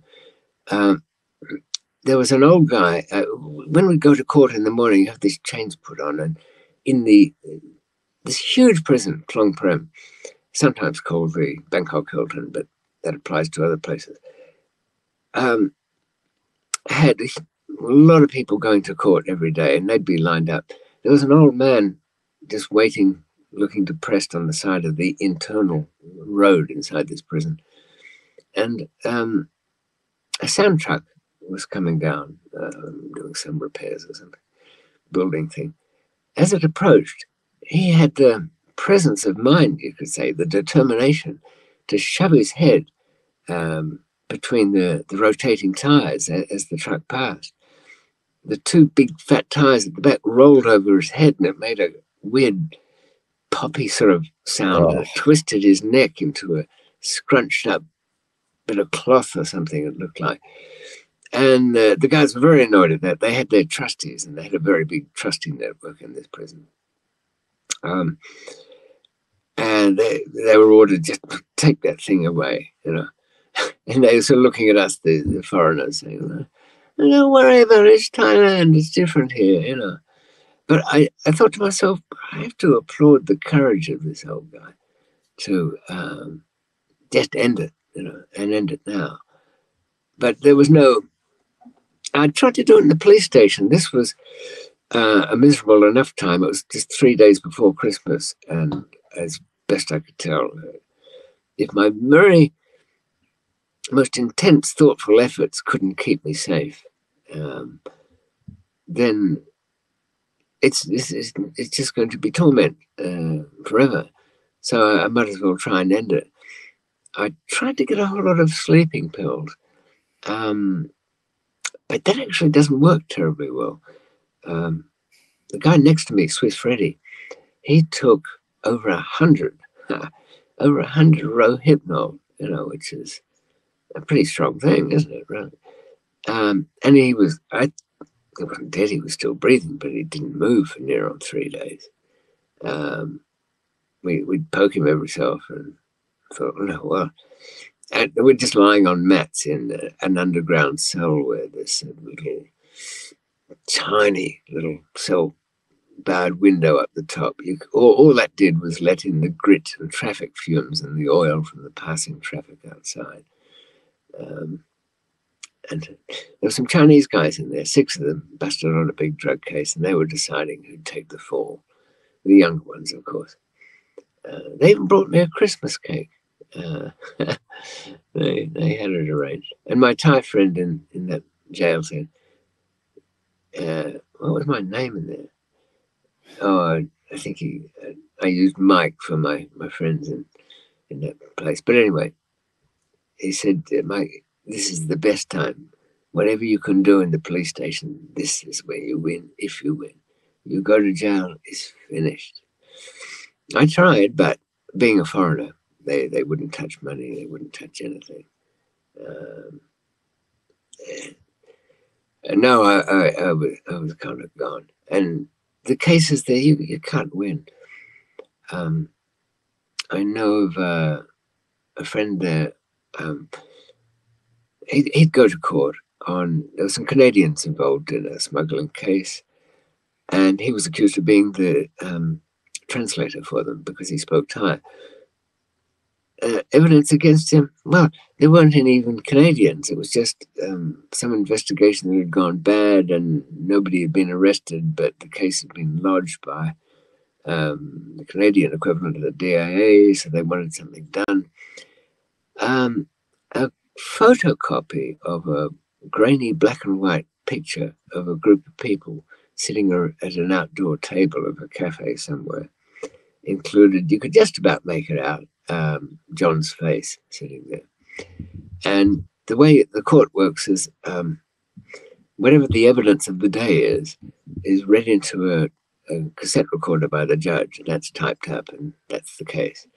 And the judge got this old picture and said, uh, Oh, yes, evidence against the accused. Uh, it actually doesn't translate as accused there, it translates as sinner. You know, evidence against the sinner, uh, a photograph showing him translating for the drug gang. he got 50 years. So uh, it, it, not there are a few cases some people have won, but only when there's a bunch of them and they let a few go just to uh, make it look like they're, they're, giving it some consideration as long as nobody's interested in it. So, so there was no winning the case. But uh, the jail was so awful. Um, um, and, you know, my friends were kind of burnt out. You can imagine this has gone on for years, and I had the jail, and then it followed again, and now I'm facing a death penalty. They, um, they just, um, they just didn't know whether they could uh, go on with it. I just well, Matthew, after, um, after survived. I had no choice. There was no way of. Um, the wife of my little friend that I'd met in the police lockup, uh, she was bringing him things in like food and so on. Uh, they're pretty good. The place they just let you have what you want. you know, medicines, uh, things of comfort. And I did ask her for um, a whole lot of sleeping pills, and she kind of uh, she was an older woman compared to the, the young guy who was in his uh, early 30s. and his wife was um, crowding uh, somewhere in their mid 40s. So I'm experienced enough to know when somebody says, looks sort of miserable and says, Get me a fistful of the strongest sleeping pill you can find. Right. It's not just for a good night's sleep, it's for the eternal night's sleep. And so she kind of declined on that. But a few things um, uh, saved me a bit. Just to give uh, an idea of the, the, the flavor of uh, what happened, Um, uh, foreigners are arrested in foreign countries to them. Um, usually, somebody from the consular services from an embassy will turn up. Well, I, I was in no hurry to see uh, the British or Australians because I'd actually seen them as I was being arrested. Some liaison police officers were there in, in the police station. So they'd been there before I got there. So this was well planned. Um, and a guy I recognized from the DEA, uh, old uh, Bill, um, he uh, had been in, in, know, we were speaking before about this big trial. He'd actually turned up at the, the trial to give the evidence from what the DEA knew about things in Thailand. And he was there. So, um, in fact, he would stay with me for years to come after that. Um, uh, they didn't contact me, but an, an uh, Australian liaison uh, officer came out. And it was very goading. Very, he, he visited the prison. I said, "Look, you're, you're you're finished. Um, if they don't kill you here, you'll be doing at least 20 years after you appeal it down to a life sentence. And uh, we'll request your extradition back to Australia and we'll hit you for something or other there, what's left of you anyway.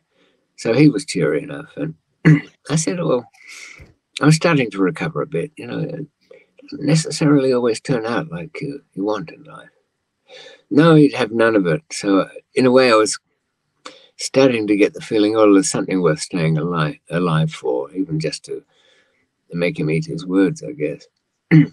but uh, from the when my friend had said that the time in the police station is the best you get, I could sort of understand that when I went out to the court and there were like hundreds of people just swinging around because the toilets had backed up again and it was the holding cells were underground cacophonous noise. You, you, couldn't, you have to shout just to talk to the guy next to you. And the clanking chains and little industries around, food being passed through the bars in, in tied up plastic bags and bags of warm rice, bags of God knows what kind of food. Um, and I noticed the uh, people in the court who were wearing kind of prison uniforms and shorts and a t-shirt in an off brown color, um, they were all chained up. They had these heavy chains on around their ankles. And I saw one guy dressed a little better, but still with the heaviest chains I've ever seen for an elephant. And he had a, um, a garter clip around his calves and his legs, and they were holding up this, this heavy chains, and they were all polished. And chillingly, I saw um, that where the, the C ring was just pushed together with most people, they were it was somehow welded around his ankle, and you couldn't help but think, how the hell did uh, that happen? How did he do that?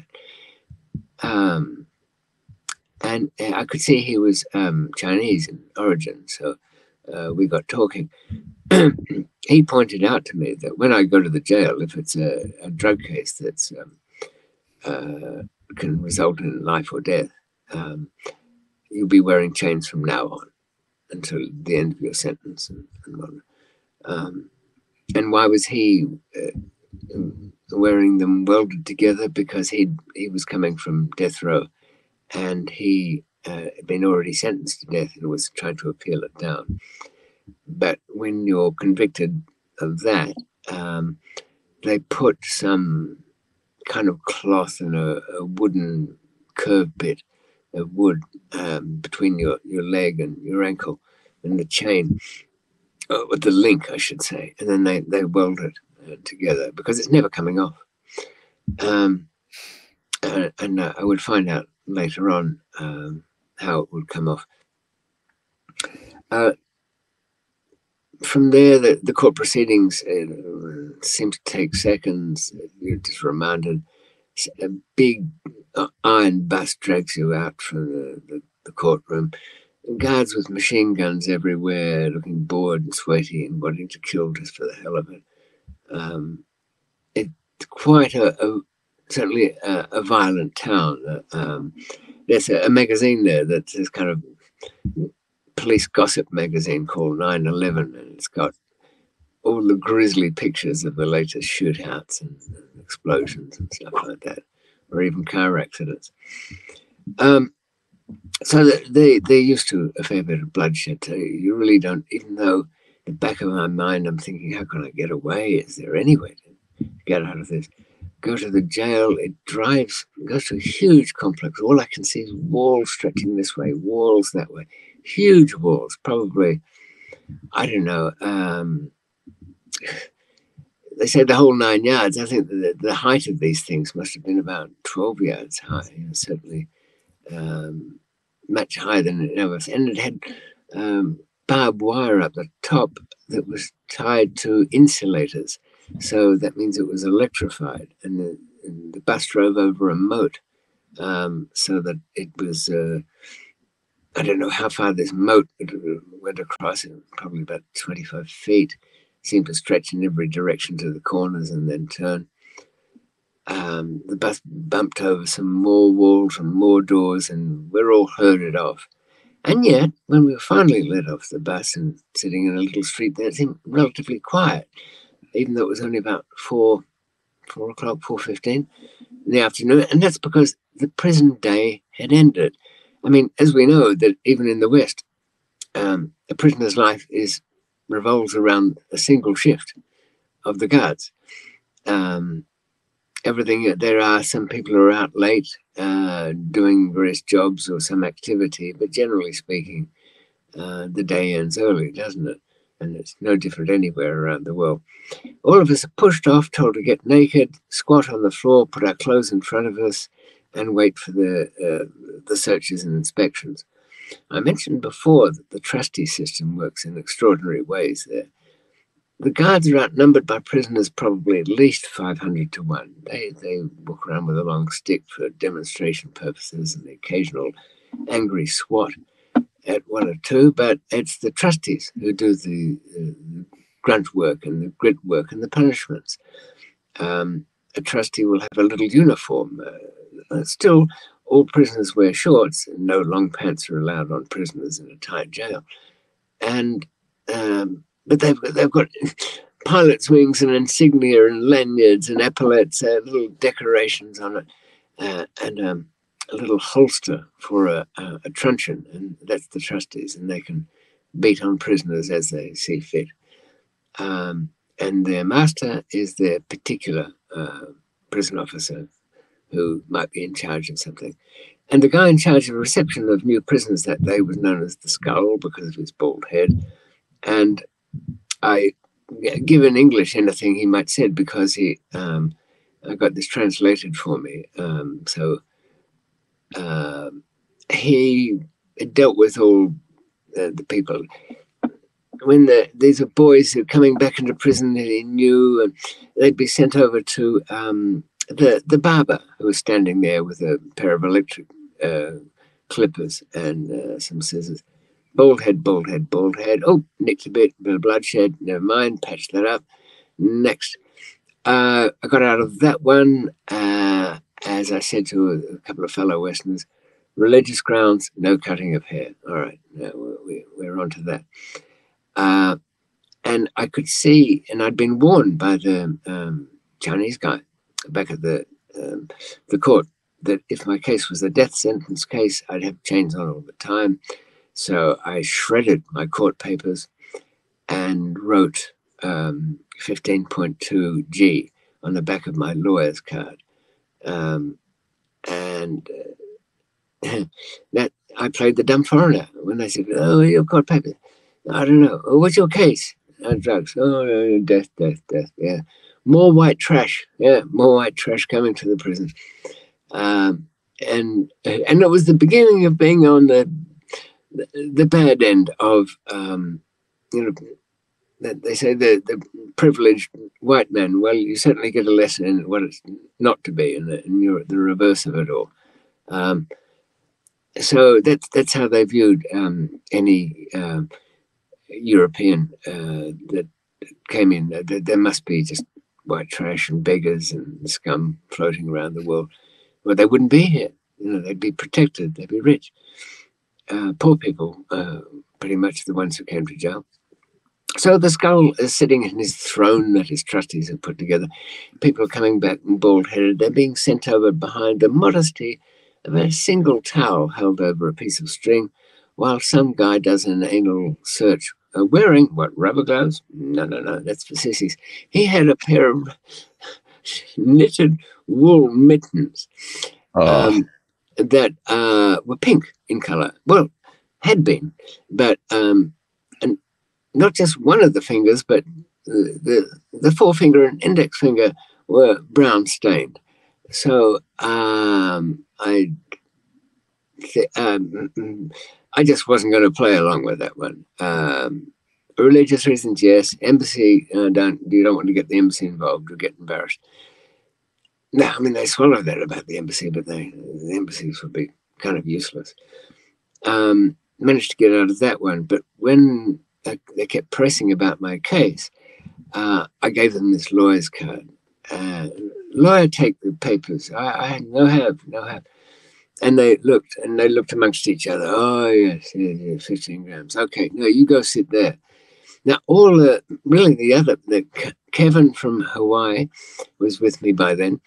Um, he came in and uh, he stupidly admitted to um, his case being about one kilo that had been hidden in a um, hotel room ceiling. Um, and so he was out, went over to the other bench where they, they put on these, they're waiting to have these heavy chains put on, and he, he stayed in them people learnt um, fairly quickly some tricks about living in a pair of uh, chains that don't come off. Um, you make sure you wear light underwear, or if it's boxer shorts, then the thinnest pair you can get because you're going to have to thread them down one leg, poke them through this thing, off uh, through the gap in the in the, the ankle uh, C ring, flip them over your toes, back up again and down on the other foot, and that way you can get them off to, to wash. Um, oh, and, and all washing is uh, uh, over by a, a, tank in the, the open ground there. And the only thing they give you by way of equipment for your new prison life is a, a, a plastic bowl. And that is your um, food bowl and washing scoop for the big tank where you take a bird bath, as they used to call it scooping up and, and splashing yourself. Mm-hmm. Well, um, uh, the skull uh, swatted a couple of people. He took a thousand baht off me that I had an envelope and said, If you were Thai, I would have battered you all over the place by now for hiding that. And Thai kids had their shampoo squeezed out over newspapers, their soap bars cut in half, their, all their long trousers that they arrived from the jail cell with, they're all sheared off with a massive and rusting pair of scissors. And then we were good to go, and uh, fish head soup was served that night, but nobody felt like eating it. Squashed into a, another huge dormitory uh, in which there's no way you can think of all these people fitting in. Uh, but there's a room leader, and he's over in the corner. He's a different kind of trustee. He's uh, wearing white shorts and um, trainers and whatnot, and he delivers his welcome speech, which my Thai friend you know, translated for me. Uh, amongst his lines were, "Well, hello, boys. Uh, here we are. For those of you who haven't been there before, and I've seen that quite a few of you have been here before. Um, you won't be in this cell forever, but uh, while you're here, see that toilet? That's for me to use, not for you to use. If you're desperate for a pee, ask one of my boys and they might, might give you permission to go and have a pee. But don't rattle your chains. I don't want to hear it. I'm a light sleeper and I'm an angry man when I wake up from a light sleep. And as for doing number twos, forget about it. It does not happen. So he spent about like half an hour terrorizing everybody over there. Um, and then sleeping head to toe, literally like sardines in there until thank God the morning came at some point and uh, uh, got out to try and make life better. But it didn't get much better in that section. It was the uh, drug remand section where um, um, they, in the greater prison, uh, you'd be allowed to um, carry cash around with you, but they didn't like it in, in the drug prison because they were accused of letting rampant trade go on in, in drugs. So um, they had a substitute currency. It was little um, sachets of headache remedy, Tamchai, aspirin, and a very good testament to um, how to run an economy. Argentina could learn a, a thing or two of that, uh, certainly Venezuela. They used to buy boxes of these uh, sachets, and that would each one would be worth a baht, and you could buy a packet of Krongtip, the uh, local cigarettes, for 30 of them, or, or buy any other service that you might want. So um, it it was quite hard in that section, and um, um, but, but there was really you couldn't just you have to be patient when trying to um, bribe your way through um, uh, these things. It, it, people always imagine those countries as um, you know a haven for uh, bribery, and I guess things are easier, but they don't really see it as bribery. They don't see themselves as corrupt. They, they see that they, they're helping out uh, the odd prisoner or two, the, the lucky ones. They very much base that on whether luck's good. So um, I, I had to get to somewhere which would be better. And that took quite a bit of doing, but the prospect for escape didn't look too good. Never heard of it. Never anybody spoke of it. But even during my time in this section, they um, they had like three or four higher buildings stacked up of, dormitories, and underneath it was some benches where people spent during the day. Uh, opened up in the morning or lined up squatting on the ground, singing the national anthem, and then all the food systems kick into play. You could uh, somebody um, would organize um, a shopper to go out and buy things. You you could not eat what they called government food. It was um, just a, a, a, soup and a few. Um, oh, you were lucky if you got the fish head. I think they'd fight over that. It's oh moldy cucumber. Oh, and you had to pray over it as well. So I organized myself with uh, uh, the Chinese cooks and their woks, and they got their gas arranged. Uh, there was lots to do in that sense, but then again, nothing to do as well. Now, um, as much as I still wanted to bring about my end, um, there was an attempt from one of the dormitories, and I, I really don't know how the, the, these, the street gang managed to keep control of the dormitory to stop people squealing or had the trustee under control or threatened him with death or whatever they did. But they managed to cut through the mesh of the, the edge of the, the dormitory which is, you could say it was like a window, but it was mostly steel mesh. And that, where did that take them? Well, it was remarkably like um, an escape anywhere. The five prisoners had all lied to each other about what arrangements they'd made and, and how. They probably found themselves quite surprised to be out in the internal streets of the prison. Uh, one of them said he uh, knew how to get to the out, outer wall, but that wasn't quite correct. Another one said he had a rope hidden, and that definitely wasn't correct. And the, I mean, it was we're in the nineties here, and, and, there wasn't a huge amount of cell phones around, but there was some. Oh, and and, and that wasn't happening either. So that was tough. They uh, looked around for something to get over that wall, but they they simply couldn't. Um, that. Uh, well, they handed themselves in back to the guard. The guard that was on duty that night was sleeping. They went and sort of tugged him, and he was kind of surprised and thought, "Well, what have you been let out for?" Uh, nothing, boss. We we got out ourselves. What? Now, out of the things you could do and get away with, you could have whiskey, you could have drugs, you could uh, even arrange for a, a woman somewhere or something that passed for one. They had a, an entire building of a thousand with uh, Thai ladyboys or uh, oh, Thai ladyboy. Uh, full of uh, AIDS, VD, mm. and uh, hormones when they had the money for it. But sometimes the hormone supply dry up, so that they look pretty hairy indeed over in the corner.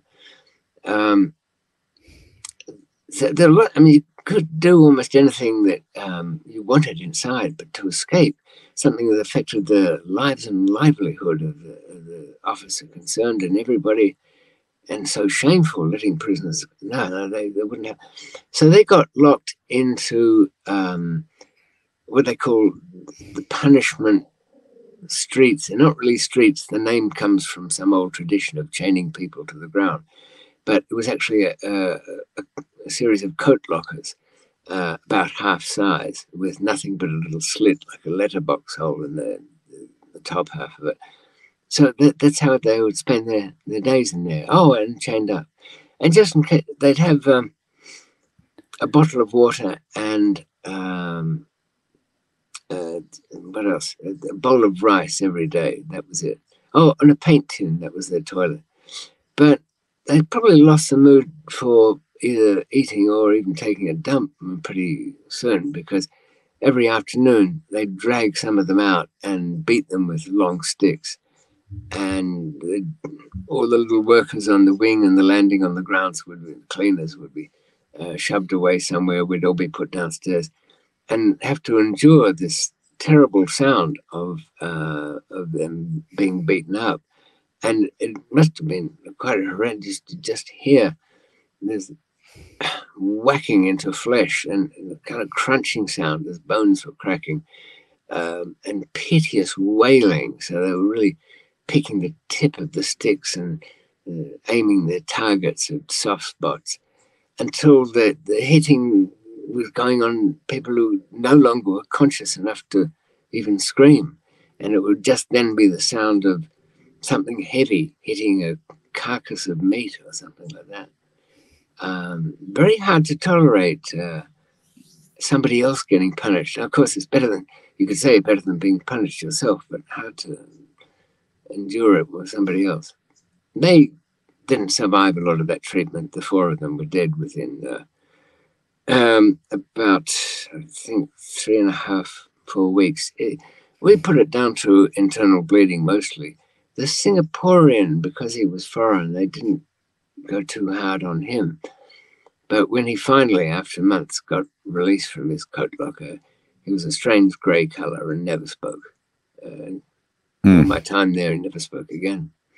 So this was a section I'd have to get out of. And um, I managed to um, bribe and finagle my way into the bigger section where there were a number of sub prisons that um, were for sentence prisoners. And the pressure's off, there's not so many court hearings. Um, you could get organized in there, and, and, and I did with a group of them. Mm. Now, um,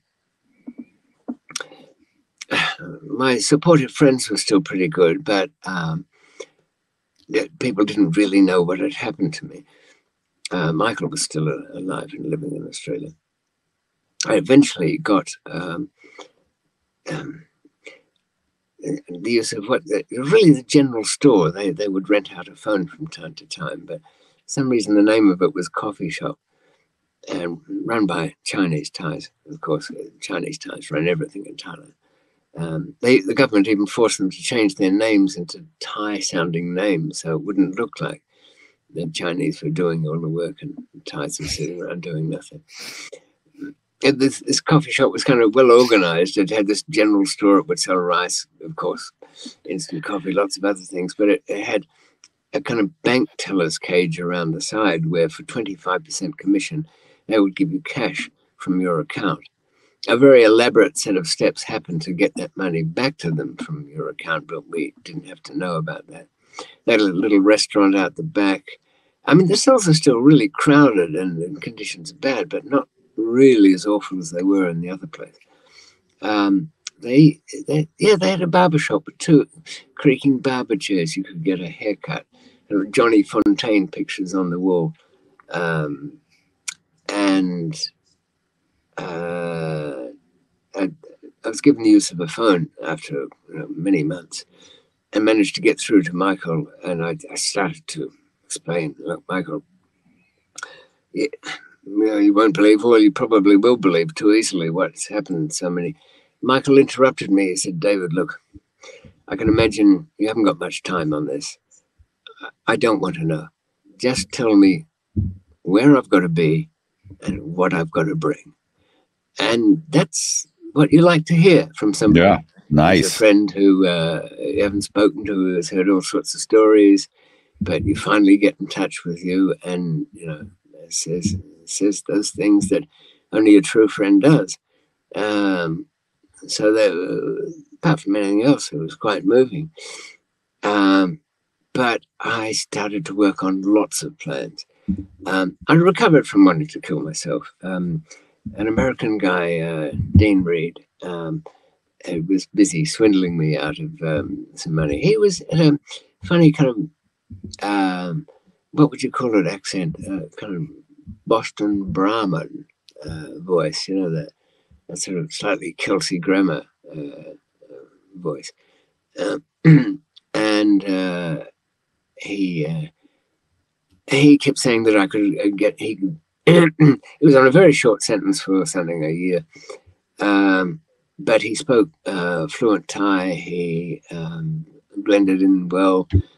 Lots of people came to me and said, "Oh, you, you can't trust this guy." I mean, we've heard stories about him out there, and I knew that, but it was and people later on said, look, that guy milked you for money. He went to your friends outside, told them ridiculous stories about what he was organizing, even um, and tried to go to London uh, and, and, see people here. Um, you know, for which he, he wouldn't have been doing anything. Who knows what he was? But look, I knew he was tricking me. I knew he was just self interested. But what else should I expect? Um, I, I didn't know him outside, but I think he deserved his earnings because he gave me hope where they were so hopeless. No one had ever won a case, or uh, certainly no one that was wanted to fall. And no one had done anything but just grimly survive these places for decades, if they survived at all. There was no way out. That policeman was probably right there it just didn't happen and I wasn't going. But I was, I needed some sense of hope to keep me going. Anyway, um, he disappeared in due course after he got out, but um, I couldn't really even gauge the size of the place. It was so big. I uh, had a, um, a, friend who was a trustee there. Um, he was from Laos, uh, but he was the only trust you could tr- trustee you could trust he uh, he didn't take the job seriously. He, he really uh, he came to speak to me about it before he took the job. He said he'd been offered it, and uh, should I take it because um, he could help me if, if he had that job. He could move around. Why was he being so helpful? He, you know, some people they look at you and they think they can trust you, and they just want a friend. I mean, you must have come across that, Matthew, and Definitely. Extreme places like prisons. It's funny too, whenever people say to me, like, wow, how did you do 13 years? I, I, I always say, you know, hope. Hope is what gets you through it. Yeah. Yeah. No, that's absolutely true. Um, and not only that, um, but of the people you met, did you stay in touch with many of them? I, all my friends are guys I met in prison. I don't really, really? Have, I don't have any friends that I out here that I didn't do time with. Right. Isn't that that's, that's funny? I, Why? What happened? Uh, what happened to the the old friends? Oh, they were they were never friends to begin with. Yeah, I guess you're right. So, um, what plans were there? I, I think I probably developed about um, fifteen, maybe more uh, plans. There was one of my favorite ones was Escape from the Courtroom.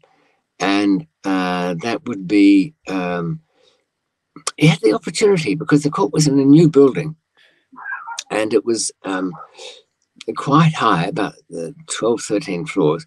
And prisoners were taken up in a special lift, a very small one at the side.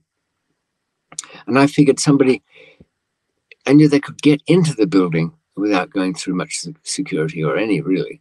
I go to one of the other floors, walk through and intercept this lift as it took me down. So somebody would uh, be in the courtroom to say, yes, he's he's he's going stand. They're taking him away now. So they would be getting ready into position. Another one would say, yes, they've just got into the, the lift there. uh, and it's going down, the guy on the, say, the ninth floor from the 12th floor where they'd come from uh, would press the, the button there and the lift would stop. It would open. There'd be two guards in there, unarmed, uh, with me as a prisoner, though I would be chained up. So um, there'd be a bit of work to be done uh, for me to get out of that. But um, as much as I liked that idea, my even the worst villains that I knew, the most serious bank robbers that uh, I'd come across, when they came and um, uh, examined the place, watched all these uh, guards running around with machine guns, they just backed out. And yeah. maybe wisely so. There had been an escape from um, Bangkwang, where um, some people got away from the, the, court transport. The, the prison bus was stopped. Um, guys on motorcycles got off and jumped out and let them out, cut them out, had bolt cutters for their chains, all of that sort of thing, took them away on motorbikes. The search for that was so intense when they inevitably got ratted out. Um, the, the rangers from the army came in to deal with it. Um, pretty much the only people who profited that day was um, uh, the old women who scooped up all the brass casings mm. from the spent shells from their machine guns because the ones that escaped certainly never survived. Um, so that escaping from the, the court um, appearances, that wasn't going to work. I had another plan, even some kind of crazy ones where um, the prison had an auto workshop and I was going to be welded into one of the the vans that a prison guard took in for repair. I didn't really like the idea of being welded in there. Um, and I'm just answering the question on the screen. Um, oh, was another plan. Oh, yeah, probably the most far fetched one was um, to be taken out um, to be one of a disguised as United Nations uh, medical team workers who'd gone to the prison to take out a foreigner. And um, another Swiss guy, Theo, uh, was going to be on the stretcher, and uh, Sten from Sweden and I were going to um, have him on there. We'd have the all the UN uniforms. We'd, we'd managed to get out of the, the cell, uh, work that out, um, and figured that just deference to um, this foreign force in the United Nations would get our doors open for us. But and that was a bit sketchy, that one. And we couldn't help from sort of cracking up laughing at the thought of it, pretty much. When I got transferred over to this, this better section, the first thing was um, to find a place to spend during the day, which was private, and to get um, effectively a private cell. There was an old one there that was run down me and a, a Scottish guy, uh, we went to see the, the building chief. Oh, sat down in his little office. Uh, it's hot in here. What's the matter with your air conditioner? It's not working too good. Look, here's an envelope with some money. You, get that damn thing fixed. It must be awful for your boss. By the way, there's an empty cell over there. I could, could we fix it up? Yeah, I bet we could get the painters in and have the plastering. So we fixed up this uh, cell uh, put in linoleum. Uh, I actually got a, a light fitting uh, switch put in place. Nobody had that in the prison. It cost me 5000 uh, I said, look, uh, I just can't sleep at night with that light on. Every other cell had a light on. I just made such a big story about it and um, paid so much for it uh, that he, he agreed to that. So it was, I had um, an office downstairs in, in the art factory and um, this is where they made little pictures out of shells. And I should tell you the way that the prison worked. If, if you were a prison guard and started working in one of the six uh, main sub prisons, the, the chief of that section would bring you in and say, All right, um, what do you want? You've got the sweatshop A, B, or the boot factory, the umbrella factory, take what you like, they're free. But remember, I want 10,000 a month out of each one. So um, the guard would tell the underling guard, this is your bid. You bring me that money every month. I don't care how you do it. Beat it out of the prisoners, threaten them, sell drugs. Couldn't care what you do. Just make it happen. Um, so they um, they didn't really care, the guys, what you did in a section as long as you kept on paying. Um, so I set myself up a little office there, and soon enough, I had um, the guys who picked my ice up for me to go in the ice chest during the day, guys who organized the food shopping list from the local markets. Um, they didn't go out to do it, of course, but the, there was another guard in charge of um, supplies. So the whole network of things that you paid for, and it sounds like a lot because I probably had, I don't know, what, nine staff uh, working for me, people to carry water and God knows what. Um, and when you're saying butler. when you're saying ten thousand dollars, you're saying ten thousand what dollars? Oh no no no! If, if um, this is at ten thousand baht, so you take a zero off that, and then uh, divide it by three, so it, it's it's that's like three hundred dollars. Oh okay. Yeah.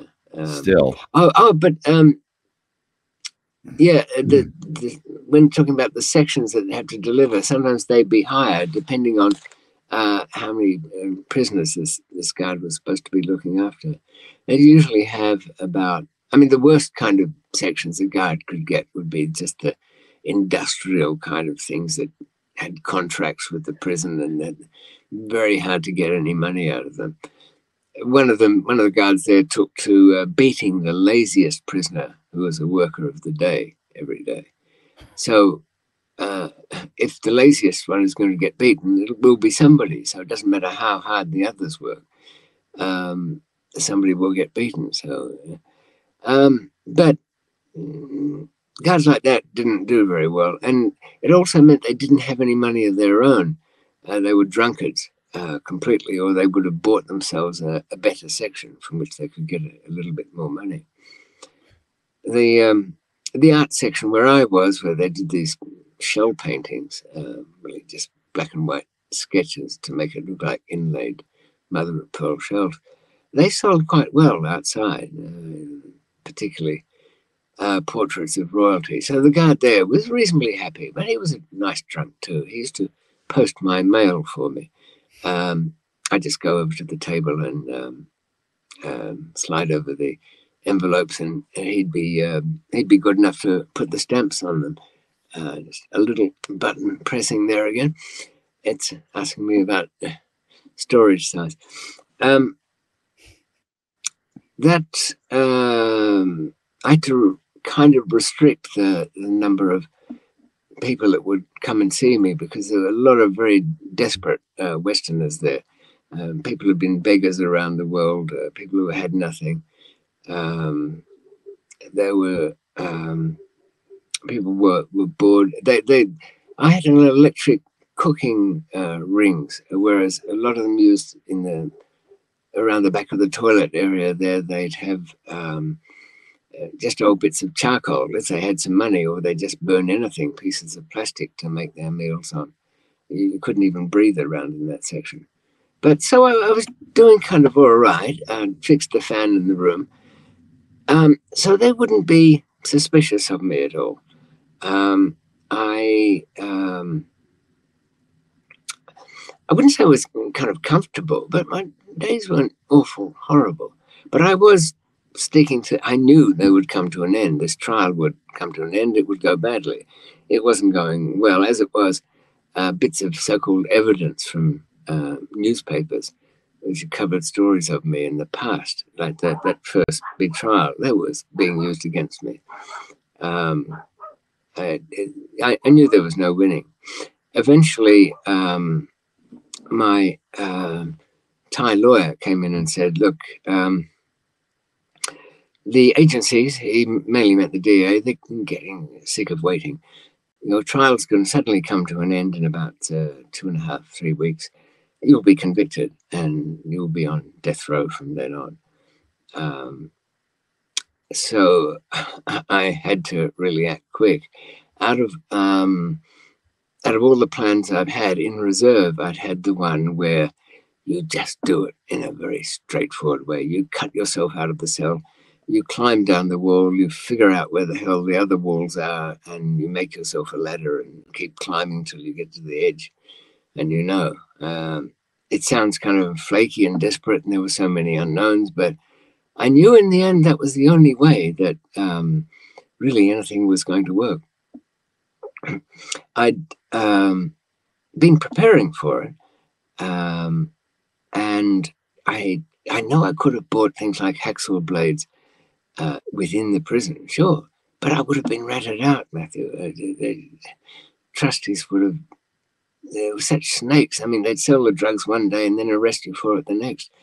Um, they, they were absolute toads too. You'd see them during the day as their their personal guard, the one they worked for, was lying around doing nothing. They'd be massaging the guard's legs to make him more comfortable.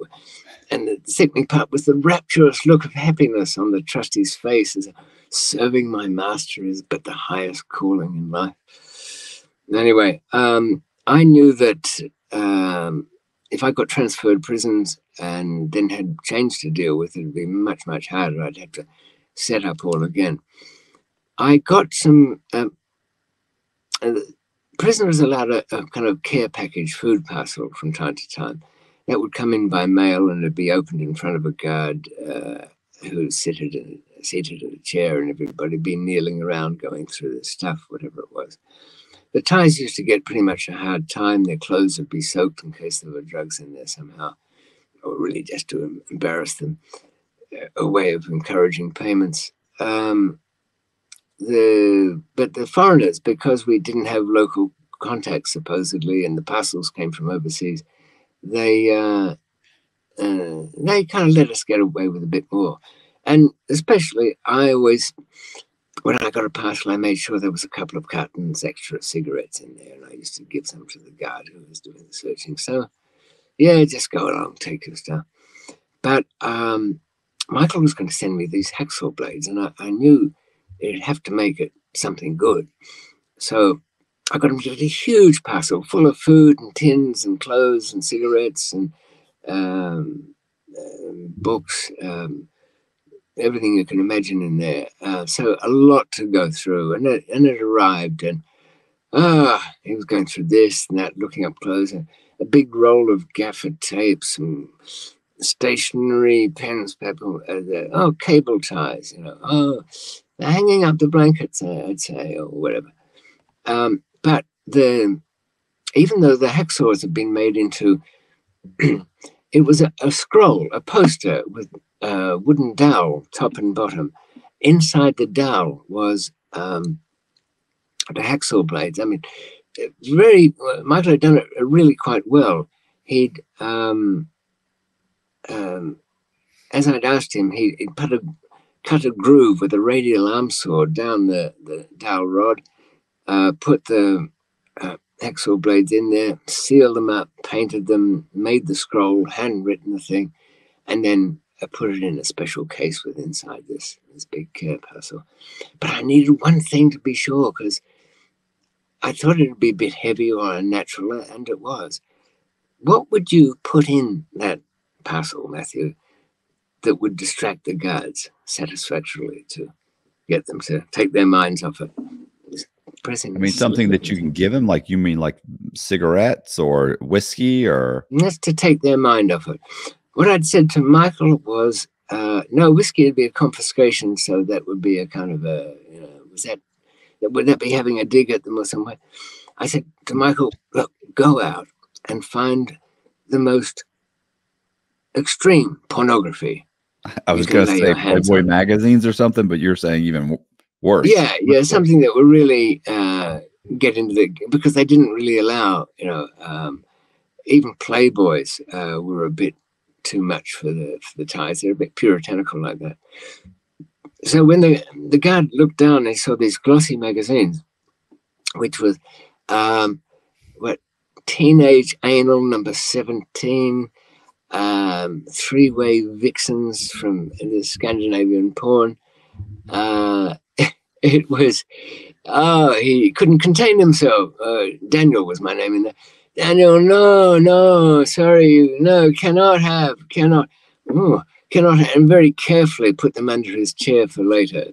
So any thought about what was in that parcel was absolutely dazzled by the shining light of the filthy dreams that he was having suddenly in his head.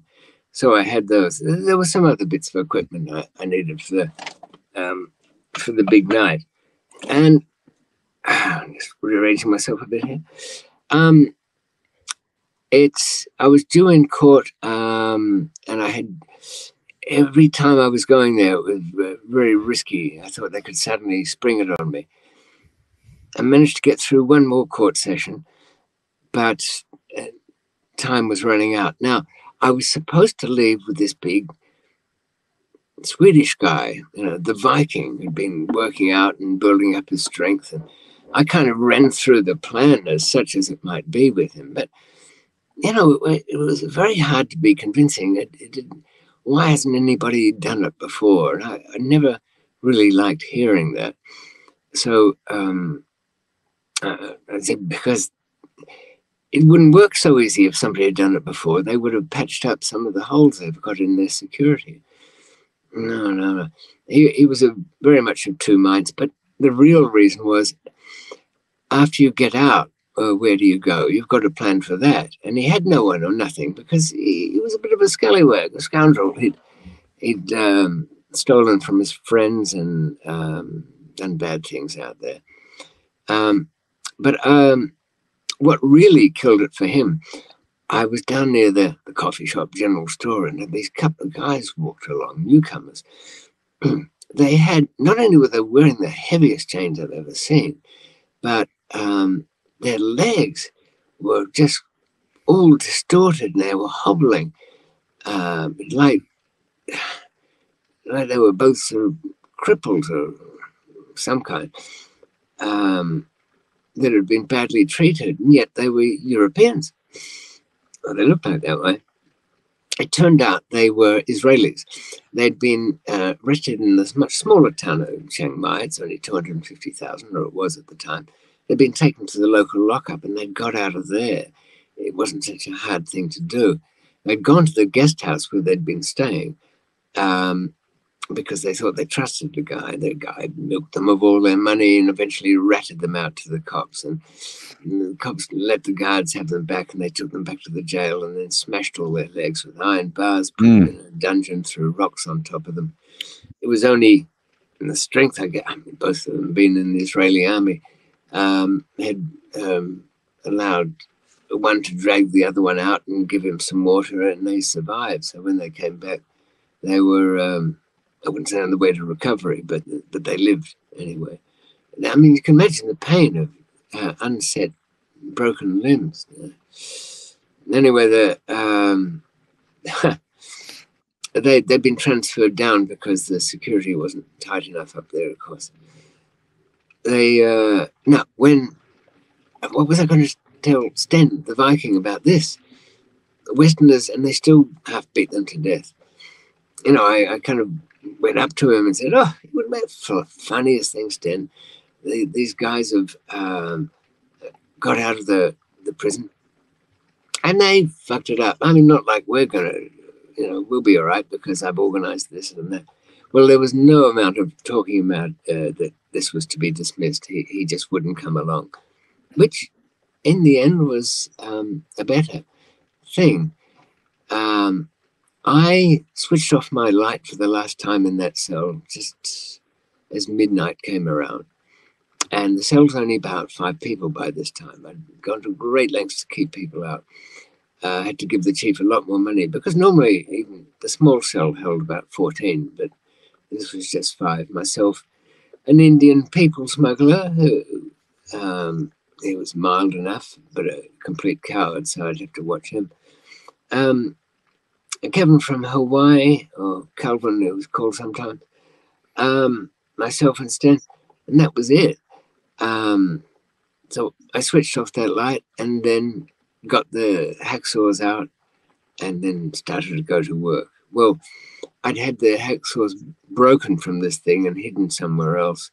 So, um, but there was other things that the, the, there were no beds in there, but there were kind of little mats and mine was made up of a crosshatch woven pattern. It was actually 100 meters of army boot webbing from the army boot factory, that nylon cord. Um, a couple of other little things put together. Um, I found there was a, a very, it was almost like it was starting to get too late. By the time I'd um, got everything ready um, and woken up uh, Kevin, very surprised to see what was going on. Uh, oh yeah, the the little boy, my uh, head butler, was in there as well. Um, he, it, it was starting to get late. It was after one o'clock. I took the hacksaws out and started cutting, but it was um, much noisier than you can imagine. You know, when you're timing something in your mind, well, you don't know how long it's going to take, but never really factored for the sound, so I had to cut much slower. Even oil just made the cutting slower rather than doing a good job. So, um, it by about two forty-five in the morning, um, I'd only got to the point uh, where one the top part of one bar was cut, uh, halfway through the the lower section of the same bar, uh, and that was bending a bit. But I, I knew how old the whole building was and under what strain it was. As I cut through the, the top bar, well, extended, um, let him do the, the cutting, um, it sprang away from where it was because it had been in position so long and whole building had skewed and all of that. Um, he'd said, oh, look, stay another um, day you know, that nobody will come here or interfere. We'll put everything back. I knew it just wouldn't work. People had all come unstuck because uh, somebody spoke. And this Indian guy, he was weak and terrified. And, and he would have spoken for sure. So um, I went on with it. It would have been, I had to just stop all of that and put um, a, had an old builder's plank which was being used as a bookshelf. I slid that out of a, the window, um, and it had to be locked in place because this plank couldn't go out flat and then bounce around. It had to go out sideways, and then look. They put us up three floors up because they didn't trust foreigners on the ground floor. That's for sure. Um, and uh, so I had to make my way to the ground after that. So this plank had to go sideways. Sten climbed up there, grabbed this bar that had been half cut and stretched it back, just as I stripped down and slid out uh, to, to, the end of the plank, going hand over hand to the back of it. Um, with one arm slung this army boot webbing over both sides and then grabbed it thinking, oh, well, I'll abseil to the ground. Well, that, that plan was never going to work. Um, unless you've abseiled before, it's not so easy to do. But the odd thing was, when I got out of that cell, when I, when I squeezed through the bar into the night and looked up at a sky that I hadn't seen for what, um, almost two and a half years, I'd never seen a night sky, never seen stars or anything and then look back into the cell with the people I knew in there. I thought suddenly it was all finished, it was all gone. That didn't matter anymore. My survival out here was what mattered. And here I am clinging to the wall like some big insect. Um, You're still in the prison. Yeah, yeah. I'm just out of my cell at building six, and there's seven more buildings to go through. Uh, and um, uh, look, I, I, slid to the ground and um, burnt the skin off my, my fingers doing so and, and, and, rolled over and there was soft ground so it was fine. I pulled back that, that rope down and rolled it up and then went to my daytime office. And there i opened up a cupboard uh, which had um, six picture frames in there. Sten i'd had him pretend to take an interest in oil painting and he'd put together these wooden um, frames over which you stretch the canvas normally, but they were no more than frames. And they were to be the rungs of a ladder. I had in mind making using uh, four, two ladders, uh, four um, long bamboo poles from another factory. This was the factory that made uh, paper paintings of little fake boxes for Chinese funerals.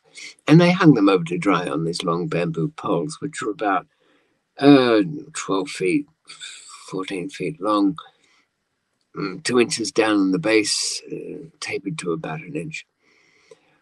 but I still had to get there. And so I, I bundled up the little things that I would need uh, from my little office room in the art factory and had a look around to see what guards were about. One I could see already sleeping over in the corner. They usually had a bit of a drink and went to sleep, these guys. But it wouldn't take much to wake him up. And it was so slow. As I look, I timed this out during the day and walked a few steps and then had my watch telling me um, uh, how long it took to go from one place to another. Um, all that meant nothing on the actual night. On the night, it took forever to go somewhere. I didn't want to make any noise. I couldn't drop anything. I couldn't put things down. I had to make sure I was keeping on carrying it. Where the bamboo poles came from, that was a factory that had just been sealed up, so I had to break into that. And even the sound of my old uh, um, parrot beak pliers that I'd nicked from somewhere uh, was slow on it. so um, I did get into that factory, um, put down the poles either side, put the picture frames along them, tape them up with the gaffer tape, holding a, a, little torch in my teeth. My mouth was either drying out or drooling, holding this torch in my teeth as I was doing it. You know, I, not even really wanting to look at the time because I know it's three o'clock in the morning by then or after that. I've now got two ladders all taped up. I can't get them out of the factory because the way I came in was too close to where the guards were. So I had to actually break out the other end of this factory um, down where it went on to where the auto shop was. So use one of the ladders to climb up to the roof inside the factory, poke the other ladder through the, the gap in the mesh and the tin, lower it down into the auto shop, pull the other one up, lower that one down, carried the two of them to the auto shop gate, which led on to where the, the showers and the water tanks and the toilets were in building six, knowing that there were many other buildings to go to, and I didn't really know where they were. Um, even by the time I rounded one of the corners, the um, guard was moving and I had to wait for a bit. I eventually got um, to the inside wall of building six, which had its own barbed wire. I'd had a fifth bamboo pole and I taped an S hook around that with some of the gaffer tape, pulled that uh, rolls of kind of old, and effective barbed wire. It's ineffective, but it still tangled you up. Uh, and pulled that outwards um, so that it I could get my ladder um, over to the edge of it. Now, by this stage, I realized carrying two ladders wasn't going to work. I taped them both together and I pushed them up against this internal wall, climbed to the top, and then lowered to the bottom and tried to pull it through, but it was still tangling. I had to develop a bit of a system to get over these internal walls.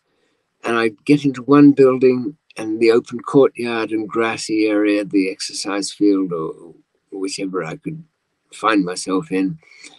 I had to avoid building five because it was the punishment section and very small. So I went to the next one. Was that building three? I don't know. uh, and had a thing where I'd keep this long ladder with the two of them joined together, hold it in the middle, and trot along like a pole vaulter. Um, Michael had taught me that about pole vaults. He used to be a Commonwealth champion pole vaulter before he gave up one life and took on another. Um, I stopped looking at my watch or and really um, didn't keep track so much of, of where I was. But I knew I was heading in the right direction when a smell from the AIDS ward, AIDS was uh, ripping through Thailand at the time, and, and prisoners uh, uh, heavily affected. They put them in a virtually disused section of the uh, prison compound, and they were rotting away in there, so you could smell them from a distance. So mm. I knew if I was near them, I must be close. I even stuck my head up and looked in and saw these grey, shiny, sick faces just looking at me. But you know, they, they didn't say anything, and any other Thai prisoner would have screamed the place down. The local, the, the cell boss, the, the little trustees on the, the wing would have blown their whistles till their lungs exploded if they saw me out there. But these guys dying in an agony just didn't didn't have the strength to to say anything. But I knew I was only two buildings away from the outer wall. um, I met a couple of other obstacles. Uh, it's kind of long to explain, but one was just a, a, wall of barbed wire, and I had to go under the mud in that one. So it was pretty messy by the time I reached that the inside of the outer wall.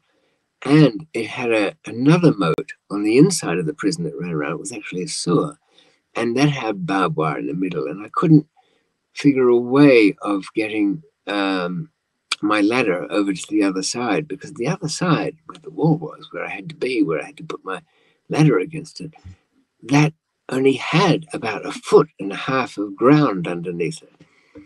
Um, and I had to like devise a, a plan to get over there.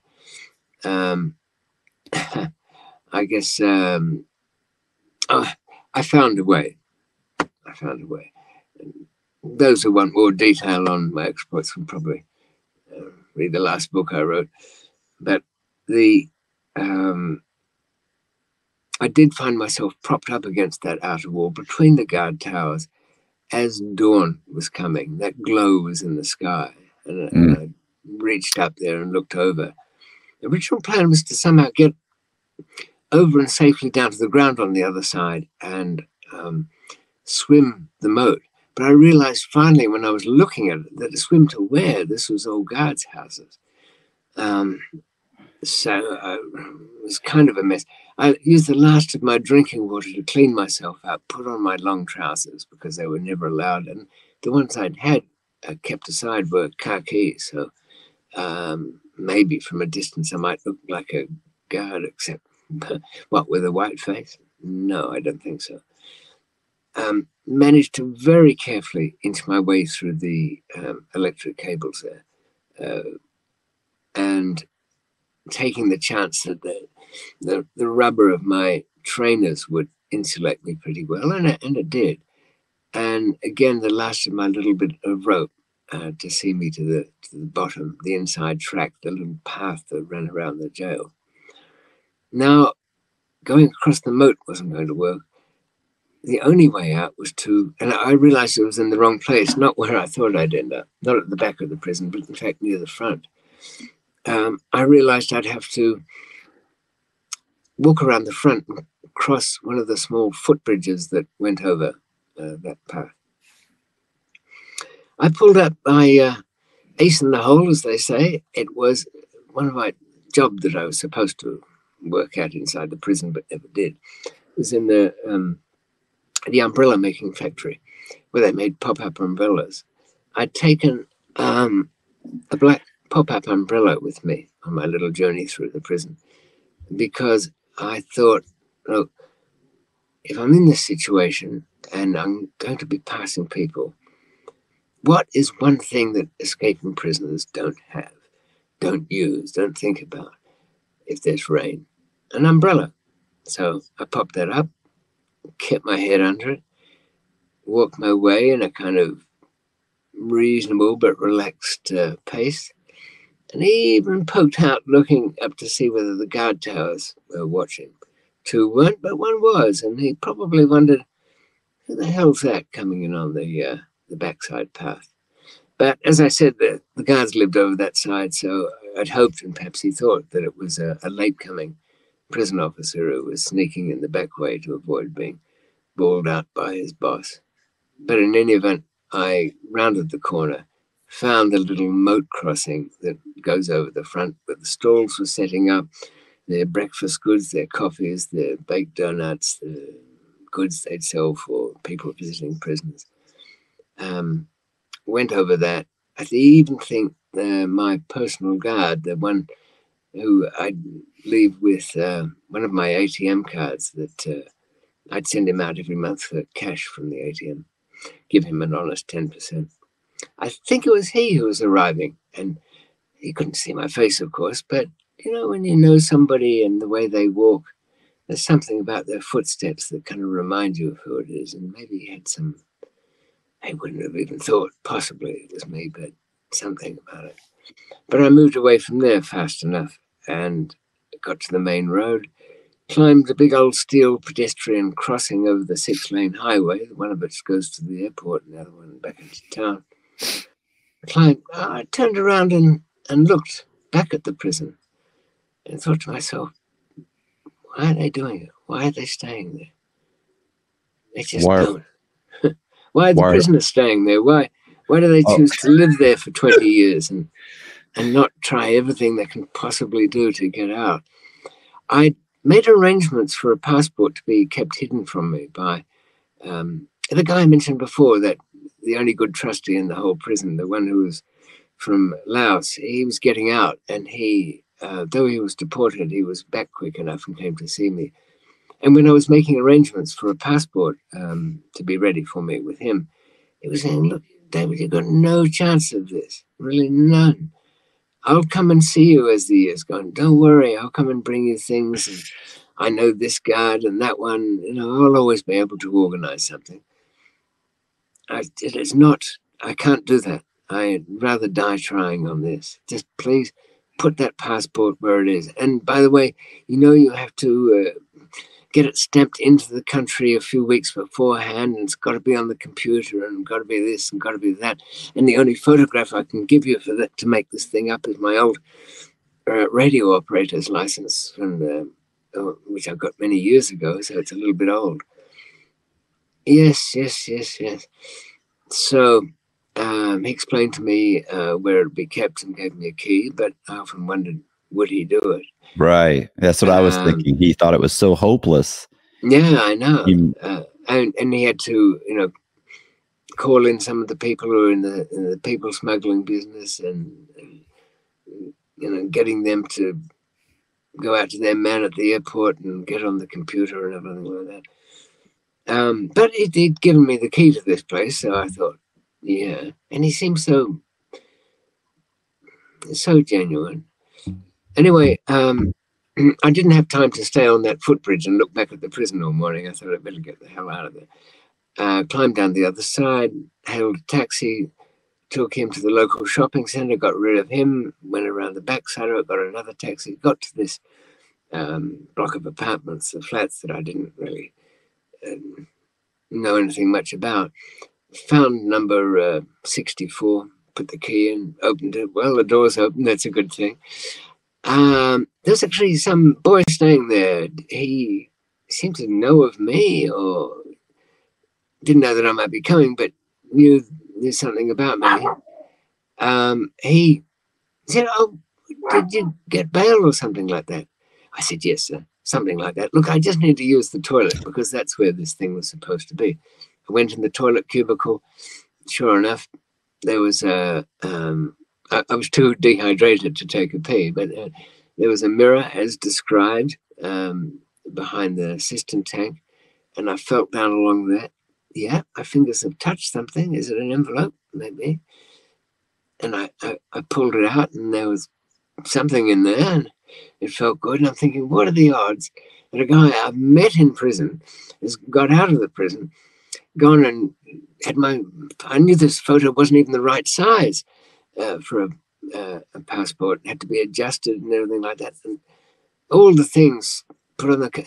Anyway, I opened it up and I had a look, and sure enough, there was me staring back at me, and it was a British passport, um, nicely used. Uh, good enough and had been stamped in and the papers for the um, that you have to fill out before you leave at the airport uh, that had been done three weeks before by the uh, immigration officer as a tourist thing. They were all in there, sitting there, ready to go. Um, I thought, well, I'd give you a kiss if you were here now. So uh, I didn't waste any time. I remembered the, the, vision of the broken legs of the Israelis stayed within my mind. Mm-hmm. Um, so I went down, jumped in another taxi, um, and uh, arrived at the airport. Now, before I'd left the cell uh, the night before, I was a bit worried about my head butler, who was only like five and a half feet tall, uh, how he'd be treated the next day. And I gave Sten some money. I said, look, see what you can do, make sure. And I, I gave him my good watch and I kept my little crappy Casio that actually kept better time. Um, because I, I, turned around in the middle of the night of all this cutting away, and there he was uh, Little Jet, that was his name. Uh, it means number seven because he was the seventh child. He was not just as he normally would be for sleeping. He was at his Sunday go to meeting clothes. He, he, he was all dressed up and he had uh, um, uh, his best shoes on uh, and he had his letters and photos and his personal things all in a plastic bag with a rubber band. He was ready to go with me, you know, follow me anywhere. And I thought myself, here you are, a bit braver than uh, my Swedish friend who shit himself at the prospect of being a free man.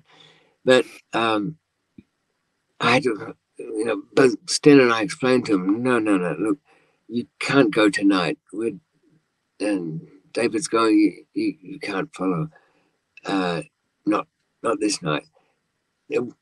And I said, look, I'll, I'll send you money. I'll, I'll do my best for you, whatever you want. You're not doing a long time. You don't want to be wanted, being shot at or whatever. Um, and kind of reluctantly, he'd he'd uh, he'd settled down.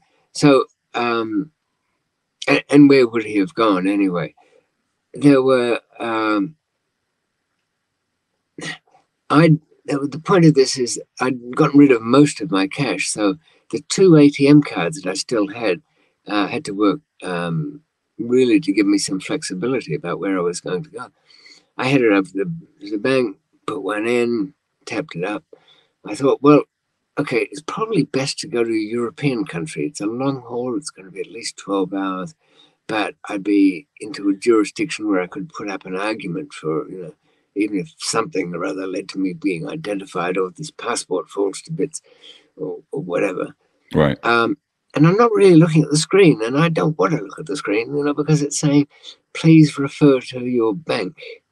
And I can tell you when you escape from a prison and you depend on your life for the money that comes out of an ATM. To get that message on the screen is not something you want to see. so I had one more card though. So I gave it a, a, rest and I didn't want to use the machine straight away. Um, I went down to the long term uh, luggage lockers where uh, a visiting friend had left an overnight bag um, with a change of clothes and some toiletries and collected that. It had been sitting there for two and a half months already came back to the machines and put um, put the second card in um, after thinking through some options, but none of them were very good. Staying in the country, whatever. No, the second card paid out about five hundred dollars. So where could I go on that? Not far. I bought a ticket because time was on the march to the next Singapore flight that was going out. Now, um, Singapore's close enough by in terms of time, but it, not so good in terms of jurisdiction. They would have sent me back to Thailand immediately. They have the death penalty of their own. They wouldn't have bothered about extradition courts. Uh, I wouldn't be a citizen of theirs. I'd be on a phony passport anyway, wouldn't they? So sending me back would have been no trouble. Um, but uh, I'm in the line already for um, departure. And at every point, I'm waiting for something to go wrong. If I stick my head above, when I was back in there, above the parapet of the, the, the roof of a wall, turn a corner and I see somebody and I'm confronted by them and I can't get out of it. Um, so even at the airport, um, I'm having trouble getting the money. And then I, I bought a ticket and I've checked in uh, and I'm going to the immigration desk, and uh, the guy behind the desk there has, has got this new passport, which you know, um, he's typed up the forms are right. He's tapping on the screen, you know, the keyboard. He's frowning at it. There's a pause, and I'm thinking, well, this is where it all ends. It's got, right. Yeah, it's a fake um, passport, right? Yeah, yeah. Well, it's a real passport, stolen within a few weeks ago. But, okay. Um, who knows if some other mechanism had, had you know, they explained to me that there's thousands and thousands of passports stolen or lost every year. If they put all the stolen or lost ones onto uh, a list, then every time somebody, oh, I found that passport I reported missing last week. All right, let's go off to the airport. And it'll blow up on them. And right. so they don't put all of those on a, a, big list because there'd be millions of them uh, right. for every country you go through. The only ones, the only people on a list um, uh, is a watch list, and that's very limited. It's that countries wanted felons. It's um, people have been requested being put up there by Interpol, and even most countries wish Interpol to keep their business to themselves because unless it's a red notice, it usually doesn't go on there. Uh, red notices uh, notify an arrest on site and all of that kind of thing. Um, the anyway, as I'm speculating on all this stuff, I've missed the sound of the immigration officer stamping my passport and handing it back. I've got on board and uh, the flight's delayed. And the airline steward, what would you like? Some water, please. Definitely a bit dried out by then. But the captain mumbling something about something with one passenger and sorry, the delay won't be long while I sort this out. Think, yeah, that one passenger, that's me, and they're coming for me. no. Thwump very satisfying sound again of the doors closing and somebody muttering doors to manual, as they say, uh, before the plane takes off. And it did, and it was only an hour's flight. But what have I got to do during that hour? Uh, I've got nothing to read except this stinking passport. mm. And I tell you what, I don't like it any better than I did when I first saw it after an hour. I kept finding faults in it, the mm, the stitching, uh, the, the, binding, the, the laminate over the, the photo. I didn't think much of it. And uh, I was not alone in that opinion when I landed at Singapore and I went to the immigration desk there. The officer on duty looked at this passport. And, uh, this photo is not a, a first generation photo, it's a copy of one. Why would anybody do that? Mm. And he has slid it over to the ultraviolet uh, lamp. And in the case of British passports, um, they're looking for the green glow of the uh, imprinting on the covers. And he's put the photo part of it under there. Oh, yes. And I'd forgotten it needs to show three little crowns overlapping the edges in pink. And bless my little Chinese friend, Laotian friend, three little crowns in pink showed up there. And the passport officer gave me a passport, stamped it, gave it back to me. Almost as much as to say, look, I know it's a stinker and it's a fake, it passed the UV test, so I'm in the clear. Go about your business, be it good or bad. right. And I was out of there. I took a, a taxi straight out, dumped that in the center of town, took another one, found a three star hotel. You don't want five star, the security's a bit flash. A lot of big shots in there, nosing around, you don't want to be looked at. You don't want a one star hotel, some dump where there's connivers and scammers all trying to get a hold of you. Now, a three star sort of commercial travelers, regular, decent hotel is just fine. Went there, checked in. As I was checking in at the desk, I'm thinking this thing passport's got to go soon. McClintock was his name, um, George McClintock. Uh, I thought, George, you and I are going to have to part ways. So. But anyway, I wasn't really concerned about that that day. It had been a long one. So I threw my stuff in my room, went down to the um, the, the, hotel shop, or uh, bought a pair of swimming trunks, and grabbed a towel and went straight up to the a rooftop where they had the swimming pool. Got it, stood on one end, dived in for the most relaxing, peaceful, deep, hugging the ground of the pool swim I've ever had, and surfaced on the very other end of the pool. Heaved myself up as the, the f- relatively fresh chlorinated water of the swimming pool ran from me rather than the stinking sludge of some Bangkok klong mm. and looked over the railing and wondered, well, where to next? and that really dealt with um, Bangkok. You know, very strange to be within the space of 24 hours, uh, really 16 hours, really, um, in a horrible prison where not likely to survive or certainly be in any shape and stay forever or death, um, to being a free man with a different identity in a hotel that no one knew about. Um, a strange feeling indeed, but worthwhile. So I enjoyed that for. Well, what would you have done next, huh? Uh. Listen, I'd have gotten out of that country. I would have gotten tried to get, like you said, tried to get to a European country. Well, and get myself a better passport. Yeah, you know, I didn't have a very good sleep that night, even as a free man, because I was thinking, how can they work out who I am, where I am? I mean, you put yourself in the in the shoes of um, not so much the the Thais; they wouldn't. They're not really great investigators in that sense. They've got no reason to be. My enemies, the Bill Schenkman from the US DEA or some bored Australian. Uh, I couldn't imagine the British doing anything. They never make an effort. But how would you figure out who I was? Would there? Can you think of any technique that would reveal my name? I'm just pressing another button here. I mean, the the. Well, I mean, Hey, that was David McMillan, and we're going to have him back on for the second part of his story. And it is another escape from a death sentence.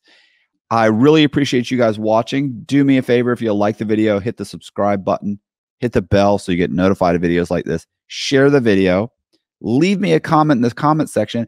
And we're also going to leave David's uh, book that in the description box. We're going to leave the link for his book.